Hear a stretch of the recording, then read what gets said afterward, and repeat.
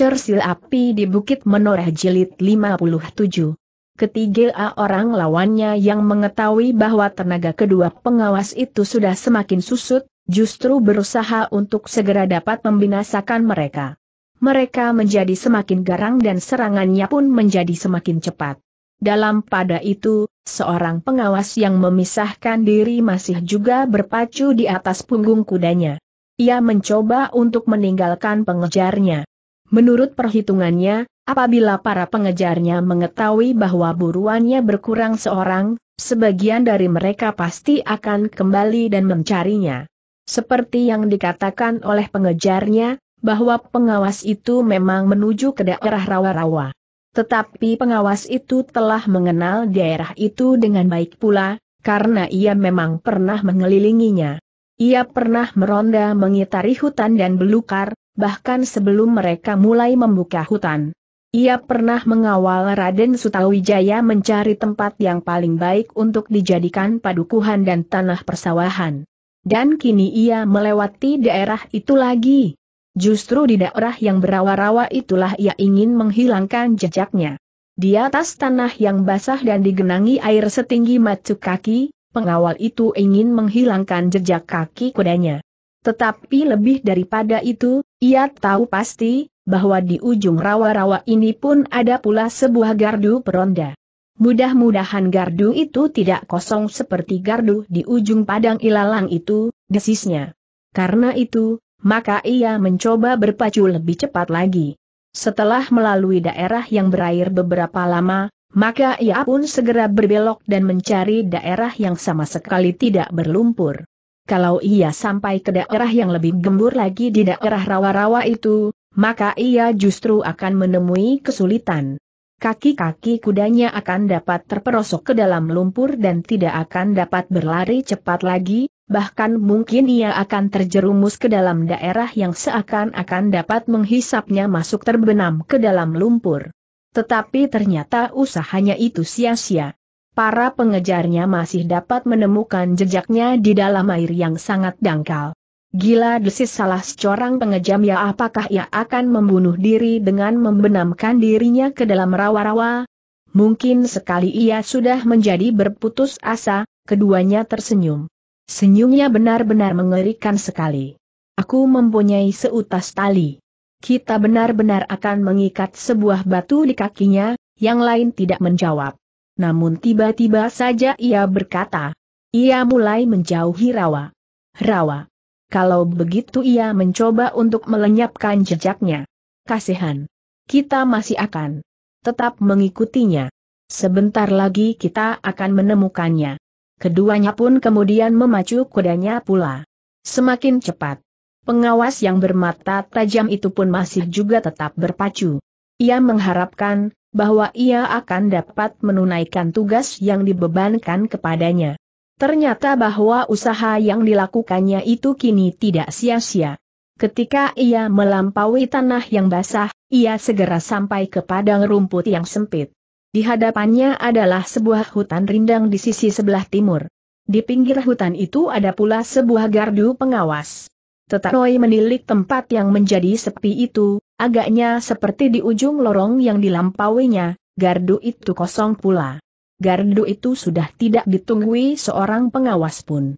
Namun demikian ia masih tidak menjadi gelisah. Ia masih belum melihat seorang pun yang mengejar di belakangnya. Tetapi hatinya tiba-tiba melonjak ketika tiba-tiba saja ia melihat seseorang berdiri di depan gardu, sedang gardu itu sudah sangat dekat. Dengan demikian maka ia pun segera menarik kendali kudanya sehingga kuda itu berdiri sambil meringkik keras-keras. Siapa kau siapa orang yang berdiri di depan gardu itu? Pengawas itu tidak segera menyaut. Dicobanya untuk menguasai kudanya. Ketika kuda itu sudah tenang, barulah ia berkata, Apakah kalian tidak mengenal aku? Seorang yang masih berada di dalam gardu segera meloncat keluar. Hampir berteriak ia berkata kau? Bukankah kau bertugas mengawasi daerah yang sedang dibuka itu? Ya. Aku akan segera menghadap Raden Sutawijaya atau siapa pun pemimpin tertinggi Tanah Mataram. Kenapa? Ada sesuatu yang akan aku sampaikan. Kenapa kau menempuh jalan ini? Bukankah ada jalan yang lebih dekat dan lebih baik? Pengawas itu menarik natas dalam-dalam untuk menenangkan debar jantungnya. Kemudian diceritakannya apa yang telah terjadi atasnya. Jadi bagaimana dengan Wana Kerti pengawas itu menggelengkan kepalanya? Aku tidak tahu. Bahkan, aku kira, ada satu dua orang yang akan mencoba mengikuti jejakku. Para pengawas di gardu itu pun saling berpandangan sejenak. Berapa orang kalian di sini? Kami semua sepuluh orang di sini. Tetapi yang tiga orang sedang menghadap ke Mataram. Setiap hari tiga di antara kami menghubungkan gardu ini dengan gardu induk. Pengawas itu berpikir sejenak. Kemudian katanya, aku menyerahkan persoalan ini kepada kalian. Apakah aku harus menunggu orang-orang yang mengejarku di sini atau aku harus segera melanjutkan perjalanan? Teruskan. Serahkan orang-orang yang mengejarmu itu kepadaku apabila ia sampai ke tempat ini pula. Baiklah. Aku akan terus. Jangan pergi sendiri. Dua orang akan mengawanimu. Kami masih cukup banyak orang di sini. Maka pengawas yang bermata tajam itu pun segera melanjutkan perjalanannya menghadap para pemimpin tanah Mataram. Dua orang dari gardu yang baru saja dilaluinya itu pun mengawaninya. Kenapa begitu banyak orang di gardu itu bertanya pengawas bermata tajam itu kepada kedua kawannya. Daerah ini masih merupakan daerah yang sedang direncanakan untuk dibuka.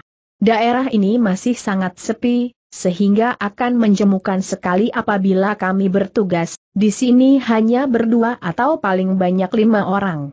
Semakin banyak kawan, semakin hilanglah kejemuan di sini, jawab salah seorang. Apakah hanya itu alasannya ya? Tidak ada alasan lain. Tidak. Mungkin tidak sampai sepuluh orang yang bertugas bersamamu. Tetapi kau mempunyai banyak sekali kawan, sehingga daerahmu tidak lagi merupakan daerah yang sangat menjemukan, meskipun kini kau menghadapi persoalan lain. Apakah di daerah ini kalian tidak memperhitungkan hantu misalnya? Keduanya sama sekali tidak menyaut. Sejenak mereka hanya saling berpandangan saja, sementara kaki kuda mereka berderap semakin cepat. Pengawas yang bermata tajam itu sama sekali tidak bertanya lagi. Dicambuknya kudanya supaya menjadi semakin cepat berlari. Dalam pada itu, para pengawas yang masih tinggal di gardu menunggu orang-orang yang mengejar pengawas bermata tajam itu. Tetapi untuk beberapa saat mereka tidak melihat seorang pun lewat sehingga mereka justru menjadi gelisah. Apakah mereka mengetahui bahwa di sini ada gardu peronda bertanya salah seorang dari mereka? Mungkin sekali, jawab yang lain. Berapa orang menurut perhitunganmu, seandainya benar-benar ada orang yang mengejarnya? Paling banyak tiga orang. Bukankah mereka hanya berlima atau enam? Sedang Wanakerti masih berpacu bersama seorang kawan Yaak lain. Ya, Agaknya demikianlah perbandingan menurut perhitungan kita, orang itu berhenti sejenak, lalu aku ingin menyongsong mereka. Marilah, kita bertiga yang dua orang tinggal di gardu. Kita akan membawa alat yang dapat memberikan isyarat apabila salah satu pinak di antara kita mengalami kesulitan. Biarlah kentongan yang besar itu menjadi alat untuk memberikan isyarat di antara kita akan membawa kentongan yang kecil. Beberapa orang saling berpandangan. Namun kemudian seorang kafannya berkata itu akan lebih baik kita akan segera mendapatkan kepastian. Demikianlah kemudian tiga orang pengawas telah siap di atas punggung kuda dengan senjata masing-masing. Mereka akan menyongsong orang-orang yang diduga sedang mengejar pengawas yang bermata tajam itu, sedang dua orang yang lain tetap mesmengui gardu pengawas itu. Tetapi kalian tidak boleh kehilangan perhitungan pesan pemimpin pengawas di gardu itu kalian tidak boleh terpancing sehingga kalian meninggalkan tempat ini terlampau jauh. Kalau kami tidak dapat mendengar isyarat yang kalian berikan, maka kami tidak akan berbuat apa-apa, seandainya kalian memerlukan. Baiklah. Kami akan segera kembali apabila kami tidak menjumpainya. Demikianlah, maka ketiga orang itu pun menyelusur jejak kuda pengawas yang bermata tajam itu, justru ke arah yang berlawanan. Mereka mengharap bahwa mereka akan segera dapat menemui orang-orang yang mengejar pengawas itu. Tetapi setelah sejenak mereka menyelusuri jejak itu mereka sama sekali tidak menjumpai apa pun. Di padang rumput yang sempit di hadapan mereka pun, sama sekali tidak mereka lihat orang-orang berkuda. Tidak ada seorang pun yang mengejarnya desis salah seorang dari mereka. Yang lain mengangguk-anggukan kepalanya. Namun ia berkata kita maju beberapa langkah lagi. Ketiga pengawas itu pun maju lagi beberapa puluh langkah sambil mengamat-amati jejak kuda di atas rerumputan.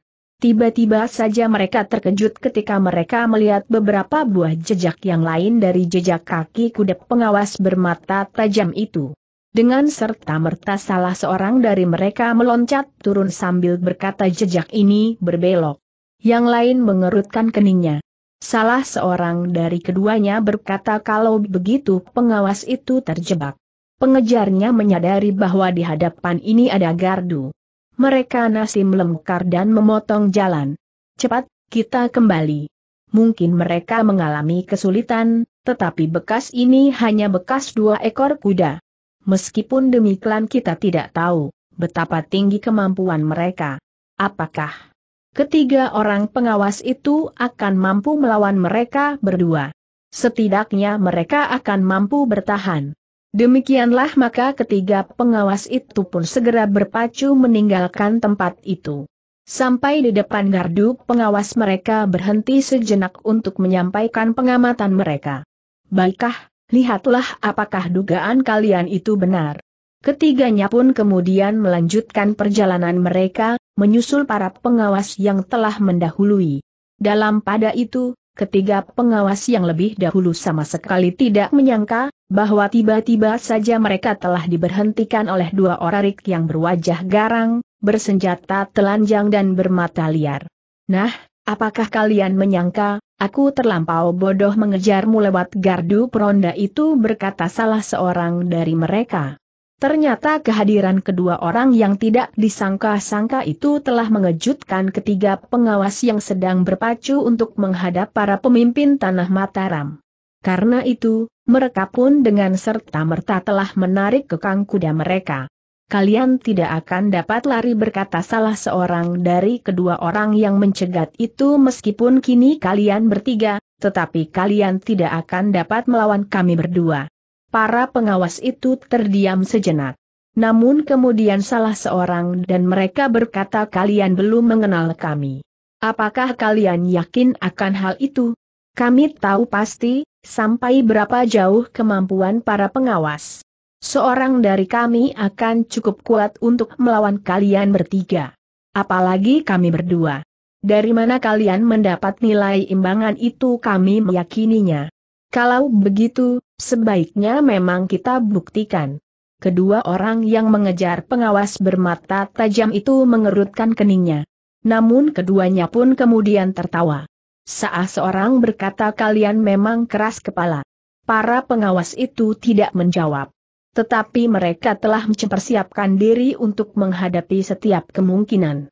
Sejenak kemudian maka kedua belah pihak pun telah meniadi semakin tegang. Kuda-kuda mereka selangkah demi selangkah maju saling mendekati. Dalam kesempatan itu salah seorang pengawas dari gardu yang baru saja dilewati itu berkata kepada kawannya yang bermata tajam kalau kita sudah mulai bertemur, kau harus segera meneruskan perjalananmu jaraknya sudah tidak begitu jauh lagi. Tetapi bagaimana dengan kalian di sini? Serahkan kepada kami. Jumlah mereka pun hanya dua orang dan kami juga berdua, tetapi bagaimana dengan kemampuan mereka? Jangan hiraukan. Itu adalah cara yang lama untuk menurunkan keberanian lawan. Kami sudah biasa menghadani cara-cara yang licik itu. Pengawas bermata tajam itu tidak segera menjawab, Dipandangnya kedua lawannya yang sudah menjadi semakin dekat. Menilik wajah mereka yang kasar dan bengis, maka mereka pasti dapat berbuat apa saja untuk mengalahkan lawannya meskipun dengan curang jika perlu. Jangan pikirkan kami desis kawannya berita yang kau bawa harus segera sampai, ditambah lagi dengan pengejaran yang mereka lakukan ini. Pengawas bermata tajam itu tidak sempat menjawab. Kedua kawannya tiba-tiba sudah menyambar dengan pedang yang berputar seperti baling-baling. Tetapi para pengawas itu pun sudah bersiaga, sehingga mereka masih sempat menghindari serangan yang pertama itu. Dengan demikian maka perkelahian di antara mereka pun segera mulai membakar jalan sepi di hutan yang rindang itu. Mereka bertempur berputar-putar di antara pepohonan dan rimbunnya batang-batang perdu. Ternyata kedua orang yang berwajah kasar itu bukan orang yang luar biasa seperti yang mereka katakan. Mereka tidak segera berhenti mengatasi kemampuan ketiga pengawas yang bertempur berpasangan. Namun sejenak kemudian salah seorang dari para pengawas itu pun memberi kari isyarat, agar pengawas bermata tajam itu segera meninggalkan perkelahian. Pengawas bermata tajam itu ragu-ragu sejenak. Namun dengan hati yang berat, ia ternaksa meninggalkan medan. Ia sadar bahwa berita yang dibawanya adalah berita yang cukup penting yang harus disampaikan kepada para pemimpin tertinggi di Mataram. Dengan demikian, maka sejenak kemudian ia pun segera meningkatkan arna, dan berpacu menuju ke pusat tanah Mataram. Kedua pengejarnya terkejut melihat pengawas itu meninggalkan arna. Tetapi mereka tidak dapat mengejarnya, karena dua orang pengawas yang lain, selalu membayanginya, bahkan menyerang mereka dengan garangnya, tanpa memberi kesempatan sama sekali untuk beringsut dari medan. Biarlah ia pergi desis salah seorang pengawas. Licik sahut salah seorang lawannya. Siapa yang licik? Yang lari itu? Tidak. Ia ingin memberi kesempatan agar kami bersikap jantan. Kami ingin bertempur seorang melawan seorang. Persetan geram salah seorang dari kedua lawannya kalian memang ingin membunuh diri. Perkelahian itu semakin lama menjadi semakin sengit kedua belah pihak berusaha dengan segenap kemampuannya untuk segera dapat menguasai lawan masing-masing. Namun kemudian ternyata bahwa kedua orang yang meneir pengawas bermata tajam itu mempunyai kelebihan dari kedua pengawas itu. Mereka adalah orang-orang yang kasar yang tidak merasa terikat oleh peraturan apa pun, sehingga mereka dapat berbuat apa saja sesuka hati, asal dapat menguntungkan mereka di dalam perkelahian itu. Dengan demikian maka kedua pengawas itu pun akhirnya merasa terdesak. Mereka tidak tahan melawan kekasaran dan kekuatan kedua lawannya. Namun demikian mereka bertempur terus, apa pun yang bakal dan mungkin terjadi atas mereka berdua. Dalam pada itu, pengawas bermata tajam itu berpacu terus menuju ke pusat tanah Mataram. Ia sudah mengorbankan kawan-kawannya untuk menahan pengejar-pengejarnya. Wanakerti dan seorang kawannya terpaksa berusaha memancing lawan mereka, agar ia mendapat kesempatan. Kini kedua pengawas itu pun berbuat serupa. Perkelahian di antara kedua pengawas itu pun semakin lama menjadi semakin berat sebelah. Kedua orang lawannya benar-benar orang yang kasar dan dapat berbuat apa saja, tanpa menghiraukan tata perkelahian yang sewajarnya. Karena itu, maka kedua pengawas itu pun kemudian hanya sekedar menahan mereka, kadang-kadang mereka menghindar, melingkar-lingkar di antara pepohonan. Tetapi kadang-kadang mereka menyerah dengan garangnya. Sudah aku duga geram salah seorang dari kedua orang-orang yang tidak dikenal itu para pengawal tanah Mataram adalah orang-orang yang licik. Kedua pengawas itu tidak menjawab. Mereka bertempur terus dengan cara mereka. Yang penting bagi mereka, pengawas bermata tajam itu sampai ke pusat tanah Mataram. Namun kedua lawannya sama sekali tidak puas dengan perkelahian yang seakan-akan hanya sekedar berkejar-kejaran itu. Mereka pun kemudian menjadi semakin garang. Serangan mereka datang bertubi-tubi seperti badai di musim kesanga. Kedua pengawal itu pun menjadi semakin terdesak. Mereka menjadi semakin kehilangan kesempatan untuk melawan. Bahkan mereka hampir tidak dapat berbuat apa-apa selain menghindar. Tetapi dalam pada itu, salah seorang dari kedua orang yang tidak dikenal itu berkata kalian telah mengganggu usahaku menangkap seorang kawanmu itu. Kalianlah yang akan menjadi gantinya. Kalian akan aku bunuh dengan cara yang pasti tidak akan kalian senangi. Perserta desis salah seorang dari kedua pengawas itu. Kami sudah jemu bertempur dengan cara ini. Kalian harus segera mati, dan kami masih akan mengejar orang yang lari itu. Kita akan berbuat seperti mereka berkata kawannya aku akan mengejar yang lari itu. Kau sendiri dapat menyelesaikan pengawas-pengawas yang licik ini. Kawannya berpikir sejenak. Kemudian ia mengangguk pikiran yang bagus. Kenapa baru sekarang kau katakan? Cepat, kejarlah orang itu.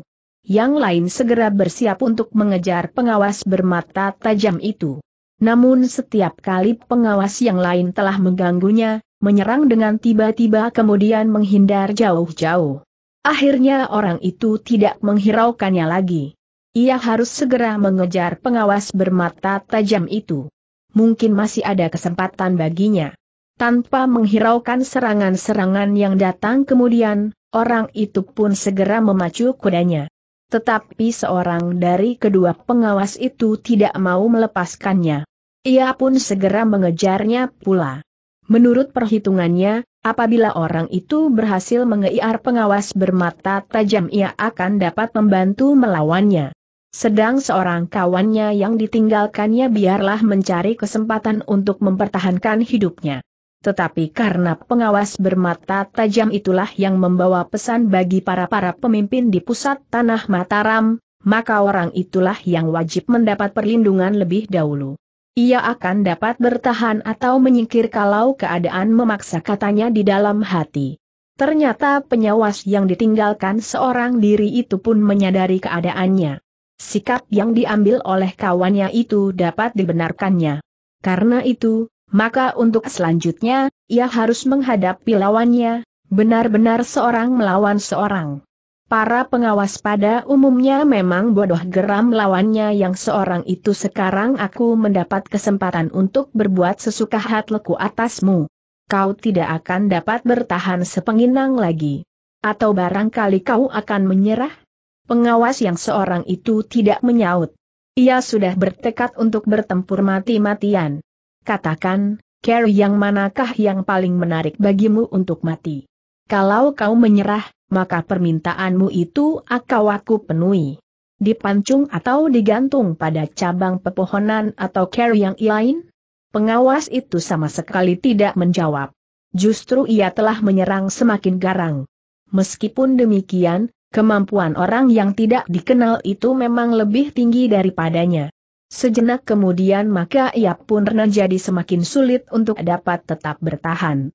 Ketika keadaan hampir tidak dapat dikuasainya lagi, dan selagi pengawas itu sedang mempertimbangkan dua pilihan mati atau menarik diri dari perkelahian dan kembali ke gardu, tiba-tiba tiga ekor kuda berderap mendekati tempat itu. Mereka adalah para pengawas yang sedang menyelusuri telapak kaki kai kuda yang mereka ketemukan melingkari gardu.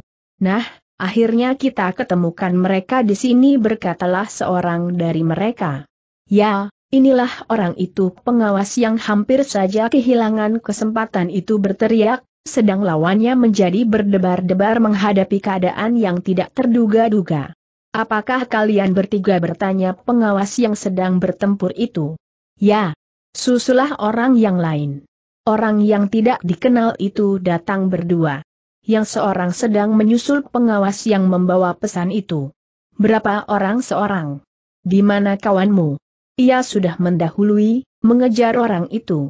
Ketiga orang itu berpikir sejenak. Lalu berapa orang kau perlukan kawan di sini untuk menangkap orang ini? Satu orang. Berdua dengan aku. Aku sendiri tidak dapat mengalahkannya, tetapi kalau berdua, kemungkinan untuk menangkapnya menjadi semakin besar. Ketiga orang pengawas yang baru datang itu saling berpandangan sejenak. Kemudian salah seorang dari mereka maju mendekati kawannya yang sedang bertempur sambil berkata aku akan menangkapnya. Baiklah, kami akan mengejar yang seorang lagi. Huh geram orang yang tidak dikenal itu, kalian sangka kami seekor kambing yang jinak. Ayo, kalian berempat sekaligus tidak akan dapat menangkap aku. Jangan hiraukan sahut yang sedang berkelahi melawannya kejarlah yang lain. Ia hanya memancing agar kalian tetap di sini. Persetan. Kalau kalian ingin membunuh diri, cobalah. Kedua pengawas itu tidak menghiraukannya lagi. Mereka segera berpacu menyusul yang seorang lagi, yang sedang mencoba menangkap pengawas yang bermata tajam, yang berusaha untuk menyampaikan pesan ke pusat tanah Mataram. Demikianlah maka dua orang pengawas yang tinggal itu kini bertempur melawan seorang dari kedua orang yang tidak dikenal itu. Ternyata bahwa perhitungan pengawas yang pertama tidak jauh meleset. Mereka berdua dalam pasangan yang baik segera dapat mengatasi keadaan. Dengan demikian maka keduanya pun bertempur lebih mantap lagi. Mereka ingin menangkap orang yang tidak dikenal itu hidup-hidup sebagai bahan untuk mencari latar belakang dari persoalan yang masih gelap itu. Tetapi orang itu pun tidak mudah menyerah. Ia berkelahi dengan garangnya.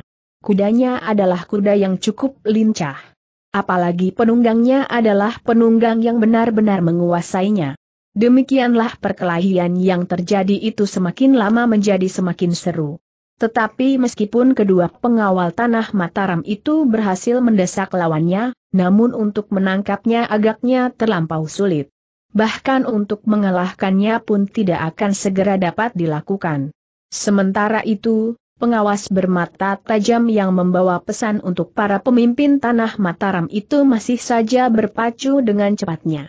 Ia sadar, bahwa jalan yang ditempuh ternyata menyimpan banyak bahaya yang kadang-kadang tidak diduga-duganya. Karena itu, semakin cepat ia sampai, akan semakin baik baginya dan bagi Mataram. Hatinya menjadi berdebar-debar ketika gerbang pusat tanah Mataram yang masih bersifat sementara sudah dilihatnya. Justru ia merasa bahwa kudanya menjadi semakin lamban.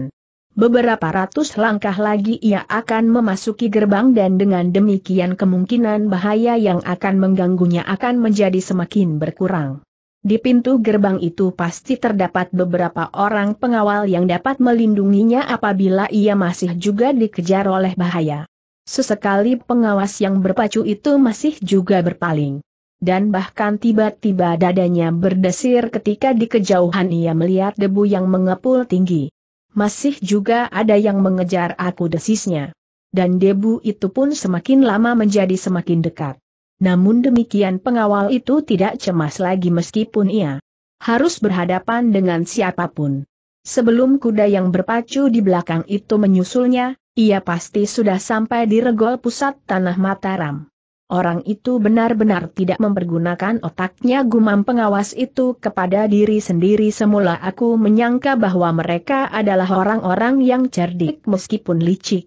Mereka telah melingkari gardu dan memotong jalan. Tetapi kini mereka begitu bernafsu mengejar aku. Namun demikian ia menjadi berdebar-debar lalu bagaimana dengan kedua pengawas yang bertempur melawannya? Apakah keduanya tidak berhasil menahan mereka, atau justru mereka telah dapat dikalahkan? Dan tiba-tiba saja ia menjadi cemas memikirkan nasib kedua pengawas yang mencoba menahan kedua orang yang mengejarnya itu. Sejenak kemudian maka kudanya pun menjadi semakin dekat dengan regol pusat tanah Mataram, sedang debu yang mengepul di belakangnya pun menjadi sema dekat pula. Tiba-tiba pengawas itu ingin menunggu apalagi setelah yakin bahwa yang mengejarnya hanya seorang saja. Karena itu, beberapa puluh langkah di depan Regolia berhenti. Beberapa ujung senjata telah dilihatnya mencuat dari mulut gardu di regol itu. Bahkan ia sudah melihat seorang penjaga berjalan ke tengah-tengah gerbang. Aku akan menunggunya, aku ingin tahu nasib kedua pengawas itu. Sejenak kemudian kuda yang mengejarnya Rena jadi semakin dekat semakin dekat. Dan tiba-tiba saja pengawas yang menunggu itu mengerutkan keningnya. Yang mengejarnya sama sekali bukan salah seorang dari kedua orang yang tidak dikenal itu, tetapi justru salah seorang dari kedua pengawas yang mencoba menahan kedua orang itu. Hi orang itu berteriak apakah kau disusul oleh salah seorang pengejarmu? Pengawas itu menggeleng tidak. Bukankah ia bertempur dengan kau dan kawanmu? Tetapi ia melepaskan diri dan mengejarmu. Aku mengejar di belakangnya. Namun tiba-tiba di antara semak-semak yang rimbun di hutan rindang sebelah, orang itu telah hilang. Hi, kalau begitu aku harus segera kembali. Ia pasti melingkar dan kembali ke medan semula. Pengawas bermata tajam itu tidak sempat menyaut. Tetapi ia kini sadar, bahwa kedua orang yang mengejarnya itu sama, sekali bukan orang-orang dungu seperti yang disangkanya. Tetapi mereka benar-benar orang yang cerdik dan licik. Pengawas itu hanya dapat termangu-mangu sejenak melihat kawannya berpacu kembali berbalik arah. Tetapi ia pun segera terkejut ketika ia mendengar derap kuda dari regol sebelah, regol pusat tanah Mataram. Ketika ia berpaling dilihatnya dua orang berpacu ke arahnya dengan membawa senjata telanjang. Agaknya mereka adalah para petugas yang curiga melihatnya, karena mereka masih belum tahu apa yang sudah dilakukan. Ketika kedua penunggang kuda itu telah berada beberapa langkah di hadapannya, maka ia pun segera mengenal bahwa salah seorang dari keduanya telah dikenalnya dengan baik. Hi kau teriak orang itu kenapa kau berada di sini?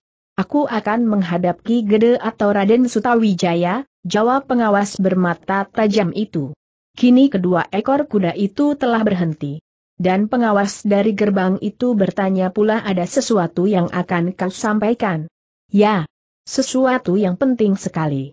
Siapa yang berkuda itu bertanya pengawas gerbang itu sambil memandang debu yang mengepul. Aku mempunyai cerita yang sangat panjang dan berbelit-belit.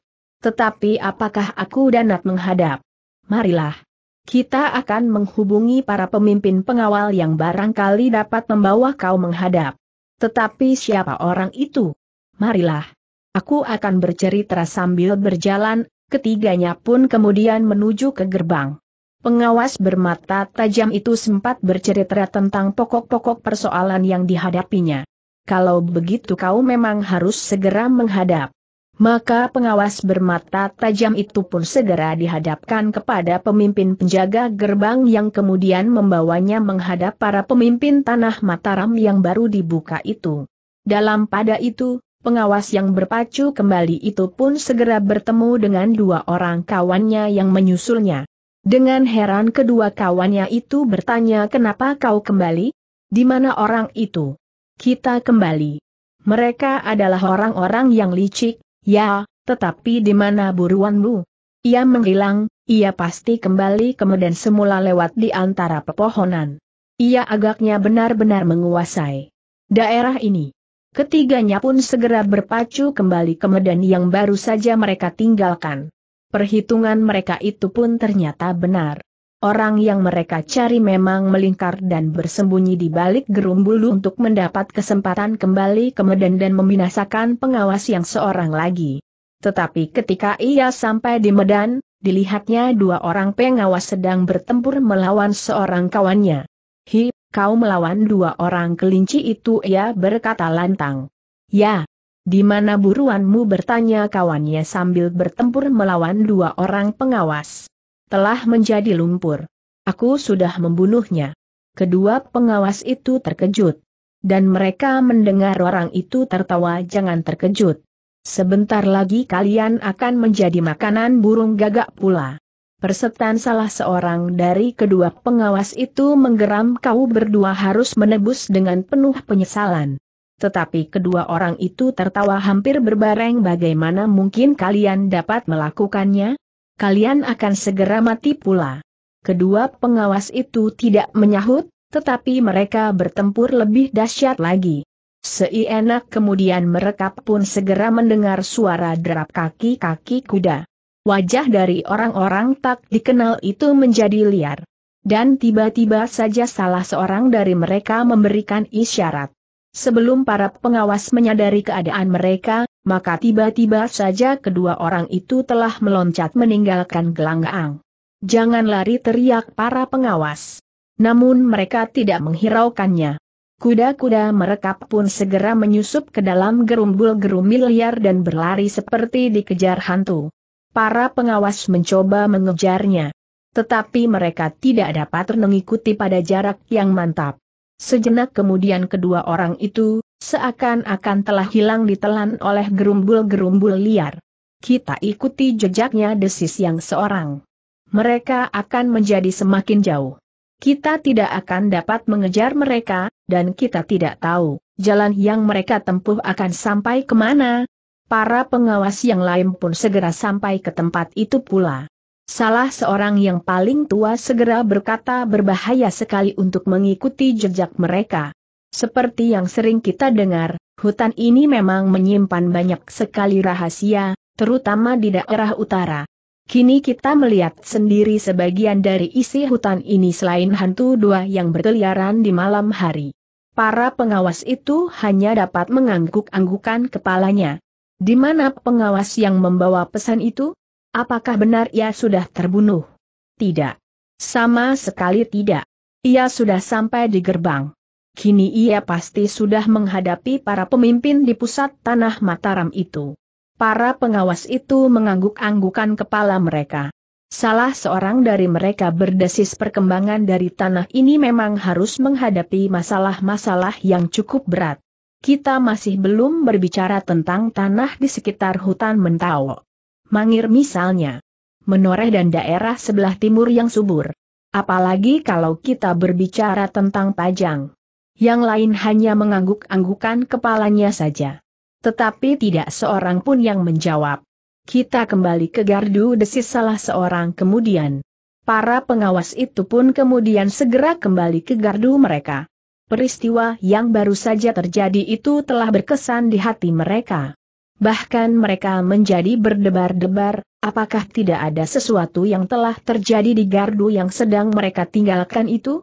Mereka menarik natas dalam-dalam ketika mereka melihat gardu masih tetap utuh dengan pengawas yang tinggal di dalamnya. Dalam pada itu, di pusat tanah Mataram, pengawas yang membawa pesan dari Kiai Gringsing itu pun telah dibawa menghadap beberapa orang pemimpin. Adalah kebetulan sekali bahwa di antara mereka terdapat Raden Sutawijaya sendiri. Apa yang telah terjadi? Hantu-hantu yang mengamuk, bertanya Raden Sutawijaya yang bergarmas ngabehi loring pasar. Pengawas bermata tajam itu menggelengkan kepalanya kali ini bukan hantu, Tuan. Apakah hantu-hantu itu sudah tidak pernah mengganggu daerahmu lagi? Masih. Bahkan yang terakhir menjadi semakin sering meskipun kami terpaksa membuat pertimbangan-pertimbangan baru tentang hantu-hantu itu. Apa katamu? Tetapi sebelum semuanya aku sampaikan, Apakah aku boleh mohon sesuatu apa? Di perjalanan kami, Kakang Wanakerti telah menahan beberapa orang yang mengejar kami. Aku cemas akan nasibnya. Hi, di mana? Di jalan lurus yang menuju kemari dari daerah pengawasan kami. Aku telah mengambil jalan simpang untuk menghindari mereka. Sudah lama itu terjadi? Mungkin mereka sedang bertempur sekarang. Aku berbelok ketika tiga orang mengejar Kakang Wanakerti dengan seorang kawan yang lain. Raden Sutawijaya mengerutkan keningnya. Aku juga mengalami gangguan di perjalanan. Menurut perkiraan waktu, aku mulai bertempur pada saat Kakang Wanakerti dapat terkejar oleh orang-orang itu. Mudah-mudahan mereka berdua dapat bertahan. Apakah kau sudah lama berkelahi? Aku tidak pernah berkelahi bersungguh-sungguh. Aku hanya sekedar berlari-larianan, karena kawan-kawan yang lainlah yang selalu menahan pengejar-pengejarku. Kalau begitu pasti belum terlampau lama, Sutawijaya itu pun kemudian berpaling kepada seorang pemimpin pengawal bawa lima orang kawan-kawanmu. Lihat, apa yang terjadi dengan Wanakeri itu. Pengawal itu mengangguk dalam-dalam. Ia pun kemudian meninggalkan pertemuan itu bersama lima orang pengawal yang lain, mereka pun kemudian berpacu menyusur jalan menuju ke daerah pengawasan Wanakerti. Jalan yang hanya satu jalur. Kalau benar keterangan pengawas yang datang itu, maka mereka pasti akan menjumpai Wanakerti dan kawannya di perjalanan itu. Nah, sekarang katakan apa yang sudah terjadi di daerahmu. Pengawas bermata tajam itu mengangguk-anggukan kepalanya. Sejenak ia mengatur pernefasannya. Kemudian ia pun mulai menceritakan apa yang sudah terjadi di daerah pengawasannya sejak beberapa hari yang lalu. Keributan yang timbul dan beberapa kematian yang sudah terjadi. Senjata beracun dan mayat yang hilang. Kemudian suara gemerincing di malam bari dan perkelahian-perkelahian yang seru. Sutawijaya mengangguk-anggukan kepalanya. Meskipun pengawas yang lelah itu tidak dapat menceritakan dengan teratur, namun Sutawijaya dan para pemimpin tanah Mataram sudah dapat membayangkan apa yang sudah terjadi. Siapakah ketiga orang yang kau katakan telah mengambil peranan di dalam daerahmu itu? Kami mengenalnya bernama Truna Podang Tuan, Sutawijaya mengangguk-anggukan kepalanya. Nama itu belum pernah didengamnya. Bagaimana dengan kedua anak-anaknya? Bukankah kau mengatakan Truna Podang mempunyai dua orang anak laki-laki? Ya, Tuan. Yang seorang gemuk dan yang seorang sedang, Sutawijaya mengerutkan keningnya kemudian senjatanya. Mereka bersenjata cambuk, ya, mereka menyebut diri mereka sebagai gembala yang hendak mendapatkan daerah baru karena di daerah mereka yang lama, mereka sama sekali tidak dapat hidup dengan wajar. Sutawijaya mengangguk-anggukan kepalanya. Desisnya anaknya yang seorang gemuk dan yang seorang sedang. Mereka bersenjata cambuk. Begitu? Ya. Orang-orang yang ada di tempat itu menjadi heran ketika mereka melihat Sutawijaya tersenyum. Sambil mengangguk-anggukan kepalanya ia berkata baiklah. Biarlah orang yang menyebut dirinya Truna Podang itu membantu kalian. Untuk sementara kami tidak berkeberatan. Para pemimpin tanah yang sedang kita buka ini mengucapkan terima kasih kepada mereka. Pengawas bermata tajam itu mengangguk-anggukan kepalanya pula, meskipun ia masih juga merasa heran. Seolah-olah Sutawijaya itu pemah melihat, setidaknya pernah mendengar serba sedikit tentang Truna Podang itu. Jadi, bagaimanakah dengan kami bertanya pengawas bermata tajam? Aku sendiri akan datang berkata Sutawijaya daerah pengawasanmu memang gawat. Tetapi seperti sudah aku katakan, ketiga orang itu memang dapat membantu. Pengawas bermata tajam itu mengangguk-anggukan kepalanya. Tetapi ia masih tetap heran. Ia merasa bahwa keterangannya mengenai ketiga orang itu belum cukup banyak. Tetapi Raden Sutawijaya langsung mempercayai mereka. Sebelum aku sempat datang berkata Sutawijaya selanjutnya aku akan mengirimkan beberapa orang untuk membantu mengawasi daerah itu. Pengawas bermata tajam itu mengangguk-anggukan kepalanya. Kita menunggu para pengawal yang menjemput Wana Kerti berkata Sutawijaya selanjutnya. Dalam pada itu keadaan Wana Kerti benar-benar sudah parah. Hanya karena ia merasa bertanggung jawab agar pesan yang dibawa oleh seorang kawannya sampai, ia bertempur sampai apa pun yang akan terjadi atasnya. Apalagi menilik pengenalan ketiga lawannya atas daerah itu, maka melarikan diri pun bukan jalan yang dapat ditempuh. Di saat-saat terakhir Wana Kerti benar-benar sudah hampir tidak dapat melakukan perlawanan sama sekali. Luka-luka di tubuhnya sudah silang menyelang di dada dan di punggung. Meskipun demikian bersama kawannya, Wana Kerti masih tetap menggenggam senjata di tangan. Namun demikian ia dipaksa untuk mendengar lawannya berkata sambil tertawa jangan menyesal. Aku sedang menunggu kedua kawanku yang mengejar seorang pengawas yang licik. Tetapi ia pun tidak akan luput dari tangannya. Kalau kedua kawan-kawanku itu sudah datang, maka kami berlima akan membunuh kalian. Aku tidak mau mengecewakan kedua kawanku, karena mereka tidak mendapat bagian melihat suatu pertunjukan yang sangat menyenangkan ini. Wana Kerti tidak menjawab. Ia merasa sebagai barang mainan yang nasibnya seolah-olah sama sekali tergantung kepada ketiga orang lawannya. Demikian juga agaknya pengawas yang lain, meskipun ia masih juga tetap memegang senjatanya. Tenaga kedua pengawas itu sudah hampir lenyap sama sekali karena darah yang meleleh dari luka. Seandainya ketiga orang itu ingin segera membunuhnya, maka mereka tidak akan mendapat kesukaran lagi. Tetapi agaknya mereka memang ingin membiarkan kedua pengawas itu mengalami penderitaan sebelum hidup mereka diakhiri. Kami harus mendapat keyakinan, apakah yang terjadi dengan kedua kawan-kawanku berkata salah seorang dari mereka kalau mereka berhasil, maka kalian akan mendapat jalan kematian yang lebih baik. Tetapi kalau mereka gagal, maka kemarahan kami akan tertumpah kepada kalian berdua.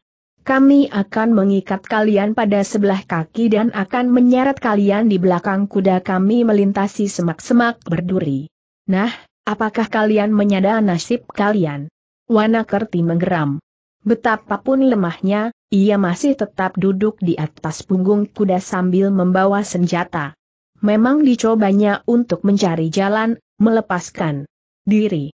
Sesekali dipandanginya jalur jalan yang menuju ke pusat tanah Mataram. Namun kedua pengawas itu tidak akan dapat dengan mudah melepaskan diri dari arna perkelahian yang semakin tidak seimbang itu. Bahkan sebelum kedua pengawas itu mencoba untuk menghindarkan diri, salah seorang dari ketiga orang yang tidak dikenal itu sudah mentertawakannya sambil berkata jangan mencoba untuk berlari lagi. Selagi kau masih utuh, kau tidak dapat melepaskan dirimu. Apalagi sekarang, di saat nyawamu sudah berada di ujung ubun-ubunmu. Wanakerti menggeram. Tetapi ia memang sudah tidak berdaya. Dalam pada itu, salah seorang dari ketiga lawannya tiba-tiba bertanya apakah kita akan menunggu? Dan salah seorang di antara mereka menjawab ya. Kita akan menunggu sebentar. Kalau ia dapat membawa yang seorang itu, maka permainan kita akan lengkap, kita akan membunuh mereka? Apakah tidak sebaiknya kita akan membawa mereka hidup-hidup? Kita memerlukan mereka bertiga meskipun kelak kita akan membunuhnya pula dengan cara yang dapat dipikirkan kemudian. Bukankah itu lebih baik? Aku kira, kita tidak memerlukannya lagi. Keduanya lebih baik diselesaikan saja sekarang. Mereka akan menjadi beban pengawasan, tertak yang lain. Kita memerlukan keterangan. Kita akan mengambilnya di gardu pengawas. Di sana masih ada beberapa orang yang pantas untuk memberikan keterangan. Bahkan pemimpin pengawas yang luka itu, berkata orang itu dengan garangnya aku sudah muak melihat kedua kelinci ini. Kedua kawannya mengerutkan keningnya. Dan orang yang garang itu berkata selanjutnya sudah aku katakan, Aku akan mengikat sebelah kakinya di belakang kuda. Kita tidak perlu menunggu lebih lama lagi. Pekerjaan kita masih cukup banyak. Yang seorang lagi bertanya yang lain. Biarlah kedua anak-anak itu yang mengurusnya. Sejenak mereka terdiam. Tetapi ketiga pasang metu yang menyala itu memandang Juana Kerti dengan seorang kawannya, seolah-olah akan membakarnya hidup-hidup. Sekarang, tangkap mereka hidup-hidup kemudian sebelah kakinya. Sebelah saja. Kedua kawannya saling berpandangan. Kemudian mereka mengangguk-anggukan kepala mereka. Ketiga orang itu pun kemudian memencar mengepung Wanakerti dan kawannya, semakin lama ketiganya menjadi semakin rapat. Di tengah-tengah Wanakerti dan kawannya menjadi semakin tegang pula namun kemudian Wanakerti menggeram kalian hanya akan dapat menyentuh mayat kami kami masih bersenjata, dan kami masih bertenaga untuk melawan kalian. Ketiga lawan para pengawas itu pun tertegun sejenak. Memang sulit bagi mereka untuk menangkap keduanya hidup-hidup. Mereka pasti akan melawan dengan segenap sisa kemampuan mereka. Bagi keduanya memang lebih baik mati oleh senjata yang membelah dadanya daripada mati bagai permainan. Sulit juga untuk menangkap kedua tikus kecil desis salah seorang dari mereka yang mengepung kedua pengawas itu kedua tikus yang sudah berputus asa akan dapat membunuh dirinya dengan cara apa pun. Aku tidak peduli desis yang lain seandainya keduanya akan membunuh dirinya, apa boleh buat. Kita sudah terlalu lama menungguinya. Aku sudah jemu. Aku sudah puas melihat betapa wajahnya dibayangi oleh ketakutan yang tidak terkirakan. Yang lain mengangguk-anggukan kepalanya. Dan sejenak kemudian kuda-kuda itu pun sudah bergerak lagi. Semakin lama menjadi semakin dekat. Namun sekali lagi mereka tertegun ketika merek mendengar derap kaki-kaki kuda mendekat. Dua ekor kuda yang semakin lama menjadi semakin dekat. Itulah kawan-kawan kita desis salah seorang dari mereka. Ketiganya pun menjadi termangu-mangu. Dengan ragu-ragu mereka menunggu. Bagaimana kalau orang lain desis salah seorang dari mereka? Kita bunuh sama sekali. Namun sejenak kemudian muncullah dua ekor kuda. Di atas punggungnya dua orang duduk dengan nafas terengah-engah. Hi bagaimana dengan kalian bertanya salah seorang dari ketiganya setelah mereka melihat bahwa yang datang memang kawan-kawan mereka. Tugas kami sudah selesai jawab mereka hampir berbareng. Bagaimana dengan pengawas yang lari itu? Aku sudah membunuhnya. Aku ikat sebongkah batu padas di kakinya. Kemudian kami lemparkan orang itu hidup-hidup ke dalam rawa-rawa. Bagus. Sekarang tinggal kedua orang ini. Apakah akan kita ikat dan kita tarik di belakang kaki kuda? Tetapi kita harus berbuat cepat berkata salah seorang dari kedua orang yang baru datang itu mungkin ada beberapa orang yang menyelusuri jejak kami. Tetapi mereka memerlukan waktu untuk sampai ke tempat ini. Meskipun demikian kita tidak boleh lengah. Kita harus segera menyelesaikan apa pun cara yang kita kehendaki. Sejenak orang-orang yang tidak dikenal itu berdiam diri. Dengan tatapan mata yang liar dipandanginya Wana Kerti dan kawannya yang masih duduk sambil menggenggam senjata mereka meskipun hampir di seluruh tubuh mereka telah tergores luka. Apakah mereka akan datang tiba-tiba salah seorang bertanya, mungkin sekali. Kalau begitu kita harus segera membunuhnya orang itu menggeram. Namun belum lagi mereka berbuat sesuatu, terdengarlah pula derap kaki-kaki kuda yang menggetarkan hutan yang rindang itu. Semakin lama semakin dekat. Siapakah mereka itu desis salah seorang dari kelima orang itu. Tetapi tidak secepat itu. Para pengawal itu memerlukan waktu yang cukup lama, yang lain menyahut, kemudian arahnya tidak sejalan dengan arah yang aku lalui mereka pasti bukan orang-orang yang mengejar aku. Lalu siapa? Kedua orang yang datang kemudian itu menggelengkan kepalanya. Namun sekilas terlintas di dalam angan-angannya, pengawas bermata tajam itu pasti sudah sampai di pusat tanah Mataram. Ia pasti sudah melaporkan apa yang terjadi. Karena itu, mungkin sekali iring-iringan ini adalah para pengawal yang mendapat laporan dari pengawas yang dikejarnya tetapi ia sudah terlanjur mengatakan bahwa pengawas itu sudah dibunuhnya, meskipun maksudnya sama sekali bukan untuk mengelabui kawan-kawannya, tetapi sekedar untuk membuat Wanakerti semakin berkecil hati. Sejenak mereka dicengkam oleh keragu-raguan. Dan waktu yang sejenak itu telah dipergunakan oleh Wanakerti sebaik-baiknya. Ketika ia melihat kebimbangan melanda jantung orang-orang yang mengejarnya itu, maka dengan tangannya ia memberi isyarat kepada kawannya. Karena itu, sejenak kemudian maka dengan tiba-tiba mereka telah melecut kuda-kuda mereka dengan ujung kendali yang segera meloncat dan berlari sekencang-kencangnya. Gila teriak salah seorang dari mereka Kail tidak akan lepas dari tangan kami.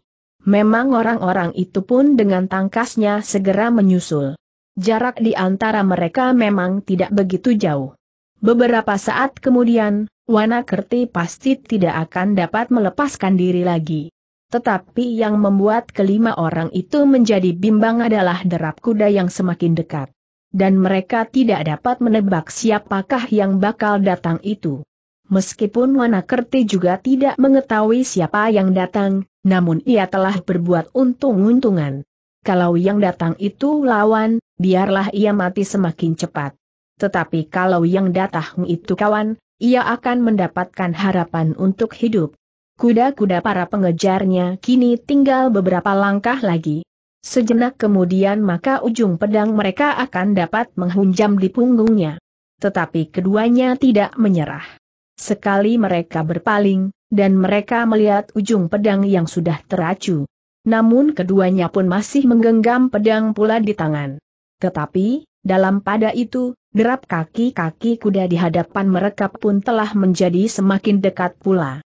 Ketika tiba-tiba kemudian muncul beberapa orang penunggang kuda dari balik tikungan, hati Wanakerti serasa tersentuh lembun.